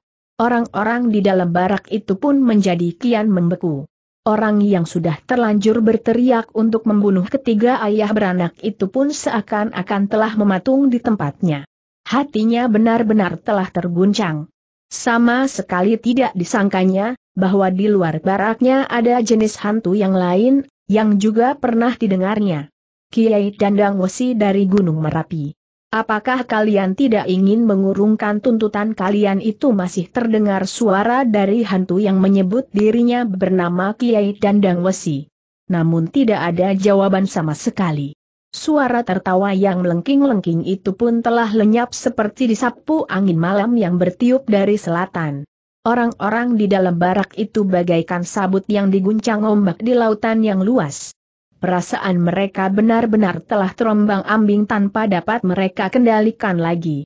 Beberapa orang di antara mereka sudah tidak dapat mempergunakan nalar, sehingga meskipun mereka masih tetap sadar, tetapi mereka tidak lebih dari sesosok tubuh yang kosong sama sekali. Mereka yang masih sadar, tiba-tiba saja mendengar desis dan bisik yang lembut di belakang gardu tetapi mereka tidak dapat menangkap sama sekali apa yang sedang diperbincangkan. Tetapi terbayang di dalam angan-angan mereka, beberapa sosok hantu sedang berdiri termangu-mangu, menghadapi jenis hantu yang lain, yang mempunyai kuasa yang sama dengan mereka. Perlahan-lahan pemimpin pengawas yang terluka itu beringsut mendekati Kiai Gringsing yang duduk tegang di samping Suandaru. Tetapi ketika ia sudah berada beberapa jengkal dari orang tua itu, pemimpin pengawas itu masih juga tetap terdiam. Sejenak kemudian malam kembali disayat oleh suara yang dalam dan berat apa katamu hantu-hantu kecil jerangkong, tetekan, tuyul, culi dan wedon-wedon cengeng. Ayo, aku memberi kalian waktu sejenak. Kalau kalian tidak pergi dari tempat itu, aku, Kiai Dandang Wesi akan bertindak. Aku tahu bahwa pemimpin-pemimpinmu tidak akan senang atas tindakanku ini, tetapi pemimpin-pemimpinmu yang tertinggi pasti akan berterima kasih kepadaku. Persetan tiba-tiba terdengar suara dari belakang barak. Tetapi sebelum dilanjutkannya, di kejauhan terdengar suara menyahutnya kalian memang seran-seran. Diam suara di belakang gardu itu berteriak kami bukan saja terdiri dari hantu-hantu kecil. Ya, Aku memang melihat di antara kalian ada genderuwo. Tetapi sudah tentu genderuwo yang bengal. Yang tidak tunduk kepada atasannya. Sudahlah, jangan banyak bicara. Tinggalkan tempat itu, atau aku akan membakar kalian dengan api neraka yang paling panas. Kalian tahu, bahwa aku dapat menceburkan kau ke kawah gunung Merapi? Jangan membual. Aku tetap pada pendirianku. Aku akan membunuh tidak saja 25 orang tetapi semua orang di dalam barak ini. Kau mengundang bencana bagi seluruh alas Mentawai. Itu berarti perang dengan Gunung Merapi dan pegunungan di sekitarnya, Merbabu dan pegunungan Somawana, Gajah Mungkur sampai ke hutan Kedung Pati. Dan ini sama sekali tidak dikehendaki oleh raja kalian. Sejenak tidak ada jawaban. Kembali terdengar suara berbisik di belakang gardu. Seakan-akan hantu-hantu itu sedang merundingkan apa yang sebaiknya dilakukannya. Ingat teriak suara di kejauhan kalian berdiri sendiri. Alas Tambak Baya, ereng-ereng Kali Praga dan daerah Gunung Sepikul pun tidak sependapat dengan care kalian. Meskipun jumlah mereka tidak begitu banyak, namun bersama-sama dengan kami mereka akan merupakan lawan yang berat bagi alas mentawo. Apalagi dendam yang membara di hati mereka tidak akan dapat dipadamkan untuk waktu yang berabad-abad karena tindakan kalian selama ini. Mereka selalu terdesak dan kalian hinakan sebagai hantu-hantu yang tidak mempunyai kekuasaan halus seperti kalian. Ketegangan rasa-rasanya telah menghanguskan setiap jantung dari orang-orang yang tinggal di dalam barak itu. Mereka tidak tahu, apakah mereka berpengharapan atau menjadi semakin ketakutan mendengar percakapan hantu-hantu itu. Hanya Kiai Gringsing dan Suandaru sajalah yang semakin lama justru menjadi semakin tenang. Bahkan Suandaru menjadi tersenyum ketika ia mendengar suara hantu di kejauhan menjadi serak, bahkan kemudian terbatuk-batuk. Agaknya kita sudah harus mulai desis Kiai Gringsing. Apakah sebenarnya yang telah terjadi bertanya pemimpin pengawas itu? Kalau hantu-hantu itu benar-benar akan bertempur, kita tidak akan dapat tetap tinggal diam di sini. Pemimpin pengawas itu memandang Kiai Gringsing dengan heran. Ia tidak segera mengerti maksud orang yang menyebut dirinya bernama Truna Podang itu. Kisanak berkata Kiai Gringsing itu kemudian agaknya hantu-hantu itu sudah sampai pada puncak kesabarannya. Mereka memerlukan aku dan kedua anak-anakku. Tetapi seperti yang dijanjikan maka Kiai Dandang Wesi benar-benar akan melindungi kita di sini. Dan aku percaya bahwa kuasa Kiai Dandang Wesi itu tidak kalah dari hantu-hantu kerdil itu. Pemimpin pengawas itu mengerutkan keningnya. Sedang Kiai Gringsing berkata terus, kini kepada seisi barak nah, sekarang siapakah di antara kalian yang masih ingin membunuh aku? Suaranya justru menjadi lantang dan teras, Seakan-akan dengan sengaja diperdengarkan kepada hantu-hantu itu di sini. Selain hantu-hantu kerdil itu ada juga hantu-hantu lain yang lebih dekat dari manusia, yaitu Kiai Dandang Wesi. Bukan sekedar wedon cengeng atau jerangkong kurus, tetapi Kiai Dandang Wesi adalah perayangan. Jenis hantu tertinggi yang menguasai daerah Gunung Merapi. Omong kosong tiba-tiba terdengar suara di belakang barak. Ternyata hantu-hantu yang mendengar suara Kiai Gringsing itu telah membantah langsung pernyataan orang tua itu aku tetap pada pendirianku. Membunuh kalian atau tiga orang ayah beranak. Bagus berkata Kiai Gringsing aku serahkan kepada isi barak ini. Membunuh aku atau kalian terbunuh. Tetapi siapa yang membunuh aku, maka Kiai Dandang Wesi akan membalas sampai tujuh keturunan kalian akan ditumpas keluar dengan bayi-bayi kalian. Suandaru yang berada di samping Kiai Gringsing hampir tidak dapat menahan tertawanya, ia merasa seakan-akan melihat suatu pertunjukan lelucon yang sangat menarik, sehingga gurunya tidak lagi sempat meneliti kata-katanya. Bagaimana mungkin orang dapat menumpas sampai tujuh turunan? Kalau satu turunan sudah ditumpas, maka tidak akan ada keturunan kedua apalagi sampai ketujuh. Namun demikian Suandaru masih tetap berusaha untuk tidak merusak suasana. Ia tidak mau dengan tiba-tiba saja menghentakkan ketegangan yang masih mencengkam, supaya perasaan orang-orang di dalam barak itu tidak tersentak-sentak. Tetapi Suandaru tahu benar, apa yang sedang terjadi di luar barak. Ia tidak dapat dikelabuhi, bahwa suara di kejauhan yang menyebut dirinya Kiai Dandang Wesi adalah suara Agung Sedayu.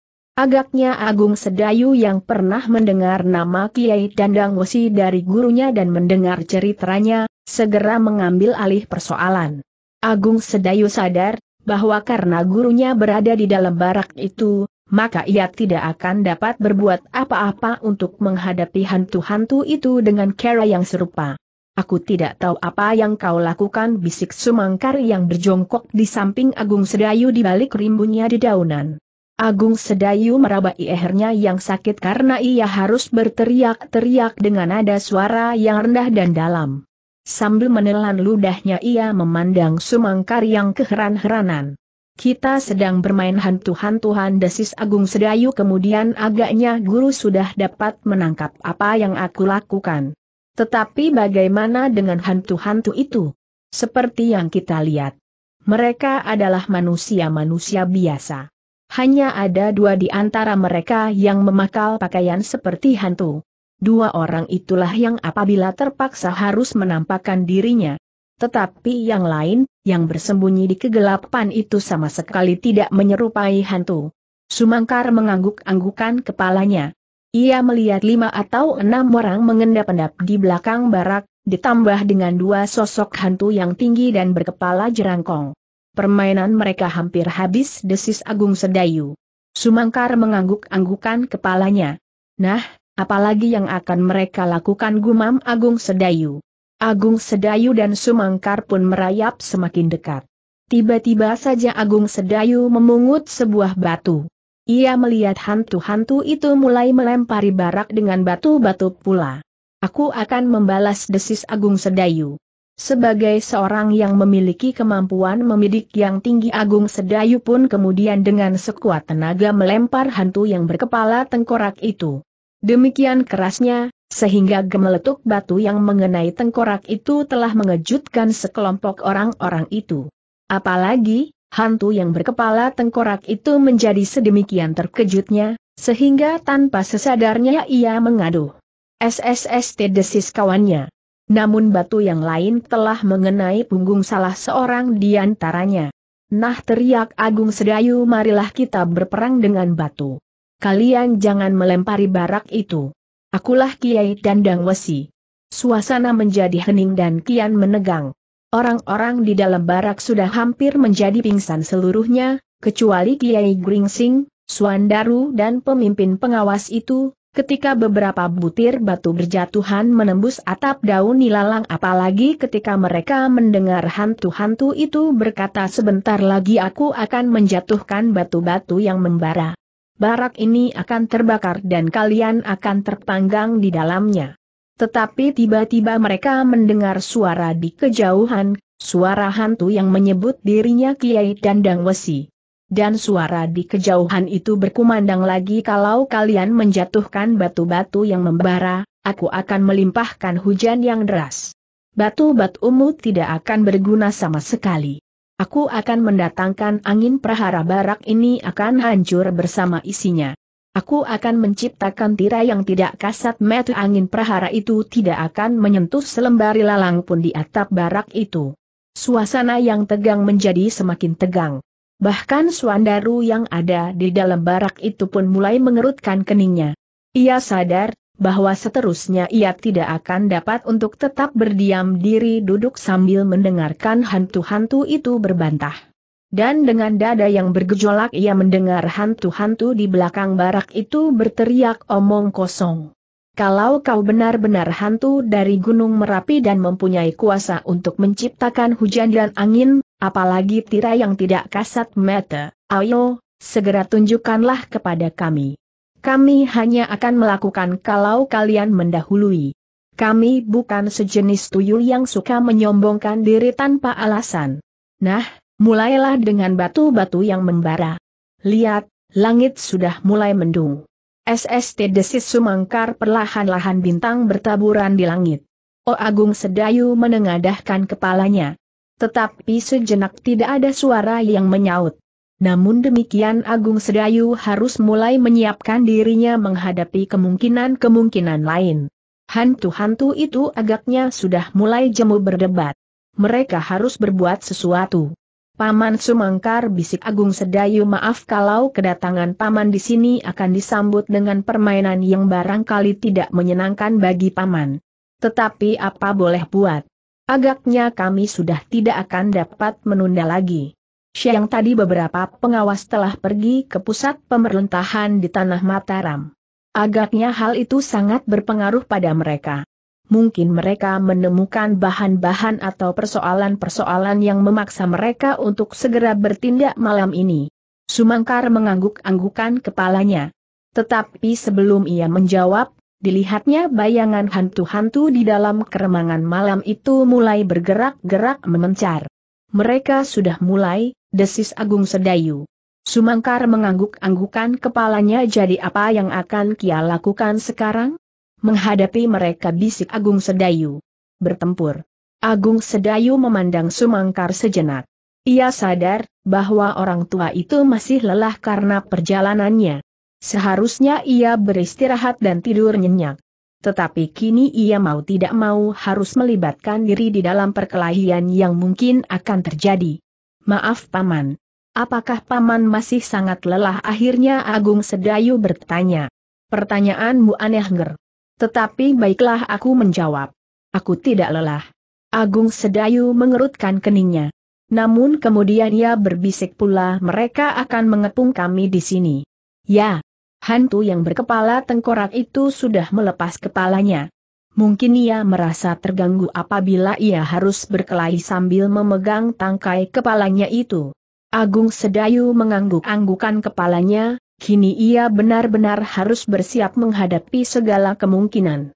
Seperti pesan gurunya bahwa ia harus berhati-hati kalau hantu-hantu itu datang lagi, berarti mereka sudah siap menghadapi orang-orang di dalam barak yang sudah mereka ketahui kekuatannya. Yang telah dapat mengalahkan orang-orangnya yang ada di antara orang-orang yang tinggal di dalam barak itu, bahkan yang ada di antara para pengawas. Dengan demikian, mereka pasti yakin akan dapat mengatasi kekuatan yang ada di barak ini.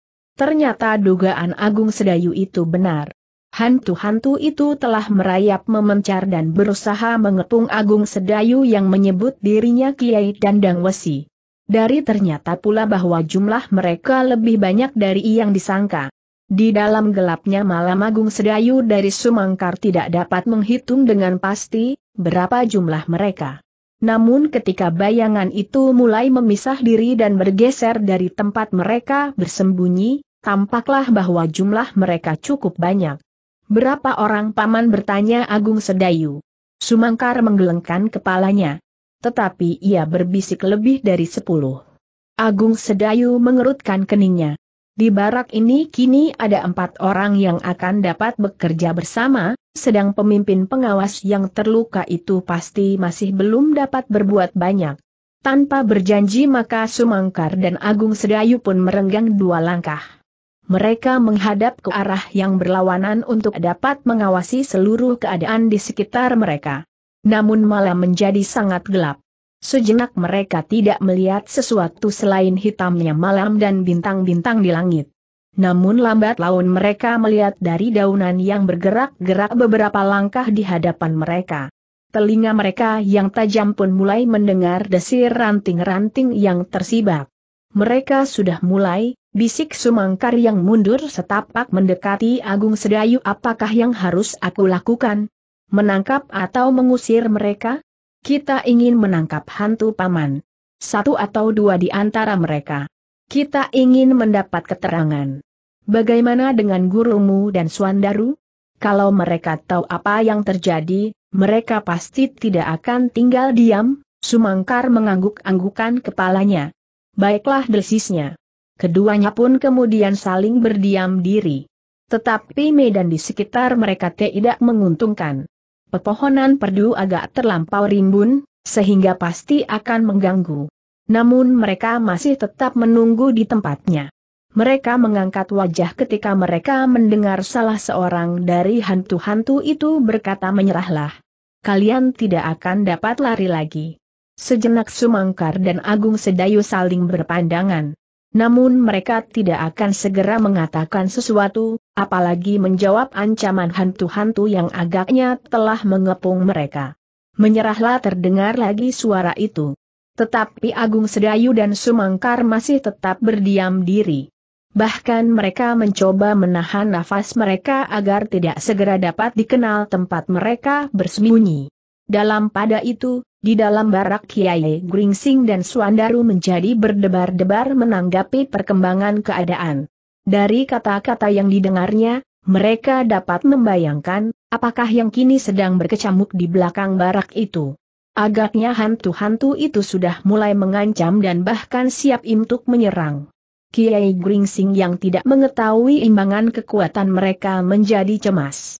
Karena itu, maka ia pun kemudian berkata aku akan melihat apa yang sudah terjadi, tetapi, pengawas itu menjadi ragu-ragu.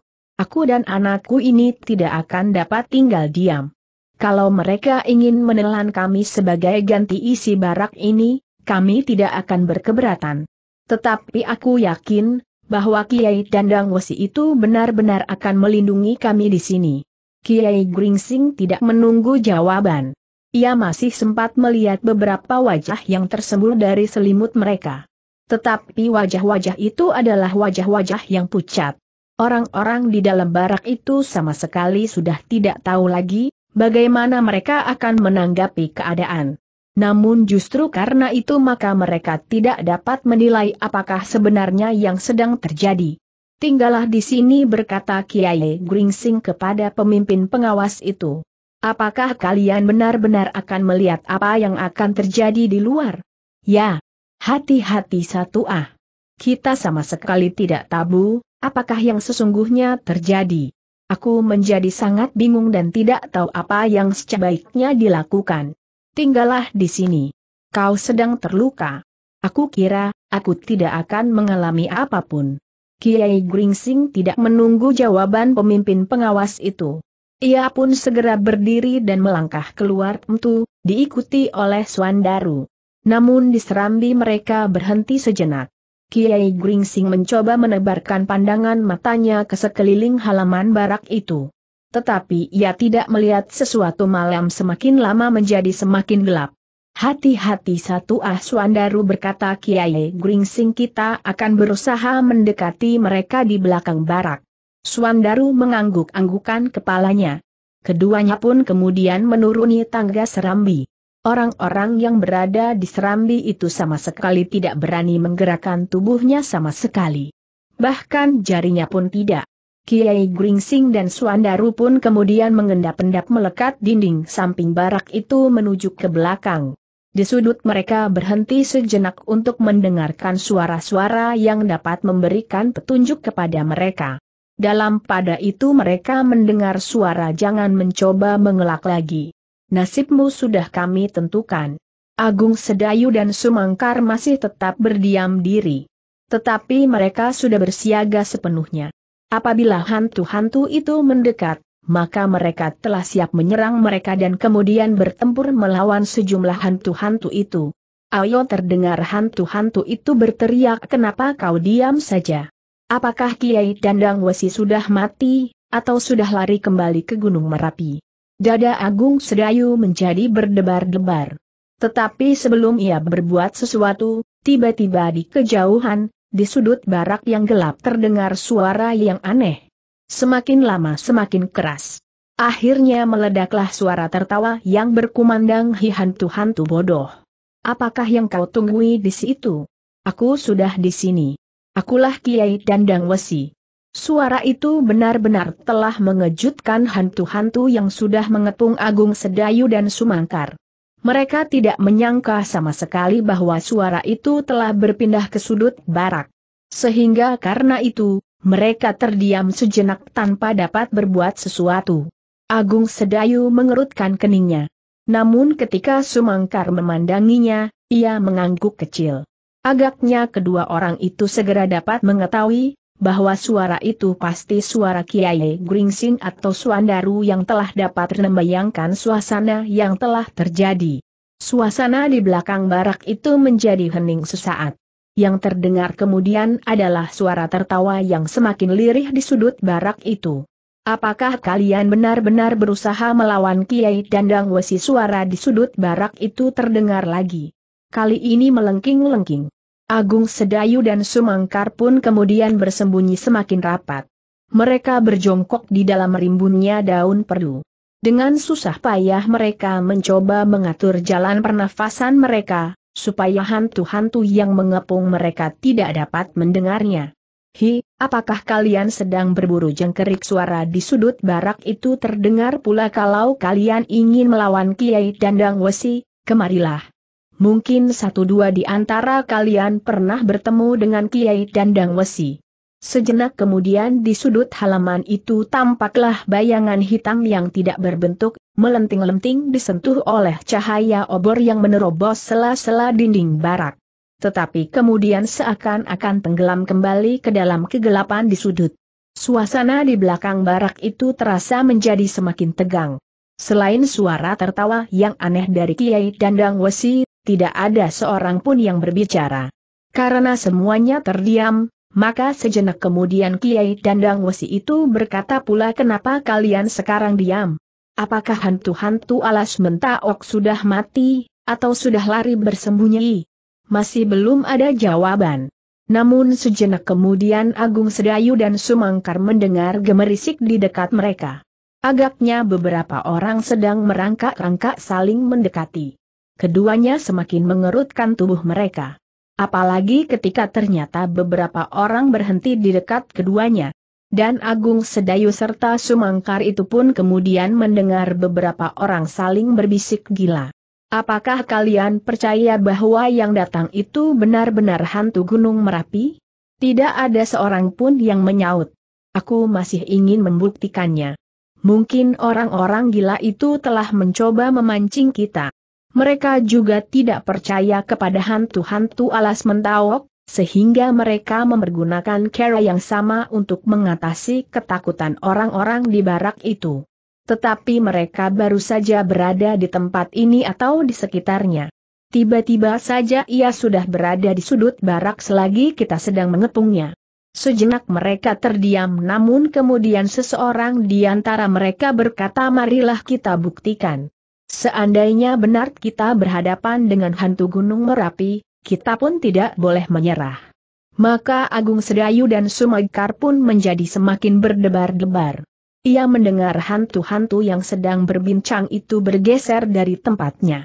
Kalau saja tanpa mereka sadari mereka melanggarnya, maka semuanya pun harus segera dimulai.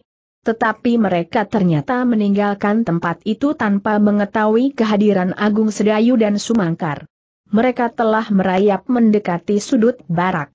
Semakin lama semakin menjauhi Agung Sedayu. Mereka sudah jauh paman desis Agung Sedayu. Bagaimana dengan kita? Kita pun akan bergeser. Aku harus menyesuaikan diri dengan kegemaran guru bermain-main seperti ini. Kita berpindah tempat. Keduanya pun kemudian berpindah tempat. Dengan hati-hati mereka bergeser mendekati barak. Tetapi mereka masih tetap berdiam diri menunggu perkembangan keadaan, sementara Kiai Dandang Wesi pun sudah diam pula. Sejenak kemudian maka terdengarlah dari kegelapan suara dari salah seorang yang mengaku hantu-hantu alas mentau Kiai Dandang Wesi. Cobalah tampilkan dirimu kita akan saling memperkenalkan diri. Aku sudah mengenal Rajamu sahut suara di sudut barak. Tetapi kita belum berkenalan. Mau tidak mau kau harus menunjukkan kepada kami, kenyataan tentang hantu yang bernama Kiai Dandang Wesi. Kami sudah mengepungmu. Kau tidak akan dapat lari lagi. Sejenak mereka menunggu. Tetapi mereka tidak mendengar jawaban apa pun. Hi, jawablah. Apakah kau menjadi ketakutan masih belum ada jawaban? Kiai Dandang Wesi panggil seseorang dari persembunyiannya kenapa kau diam saja? Tidak terdengar suara apa pun. Hi, apakah kau sudah membeku? Sekali lagi hantu-hantu itu dikejutkan oleh suara tertawa di tempat lain. Suara itu semakin lama semakin tinggi. Namun tiba-tiba suara itu terputus. Yang terdengar kemudian adalah Kata-katanya aku di sini. Aku di sini.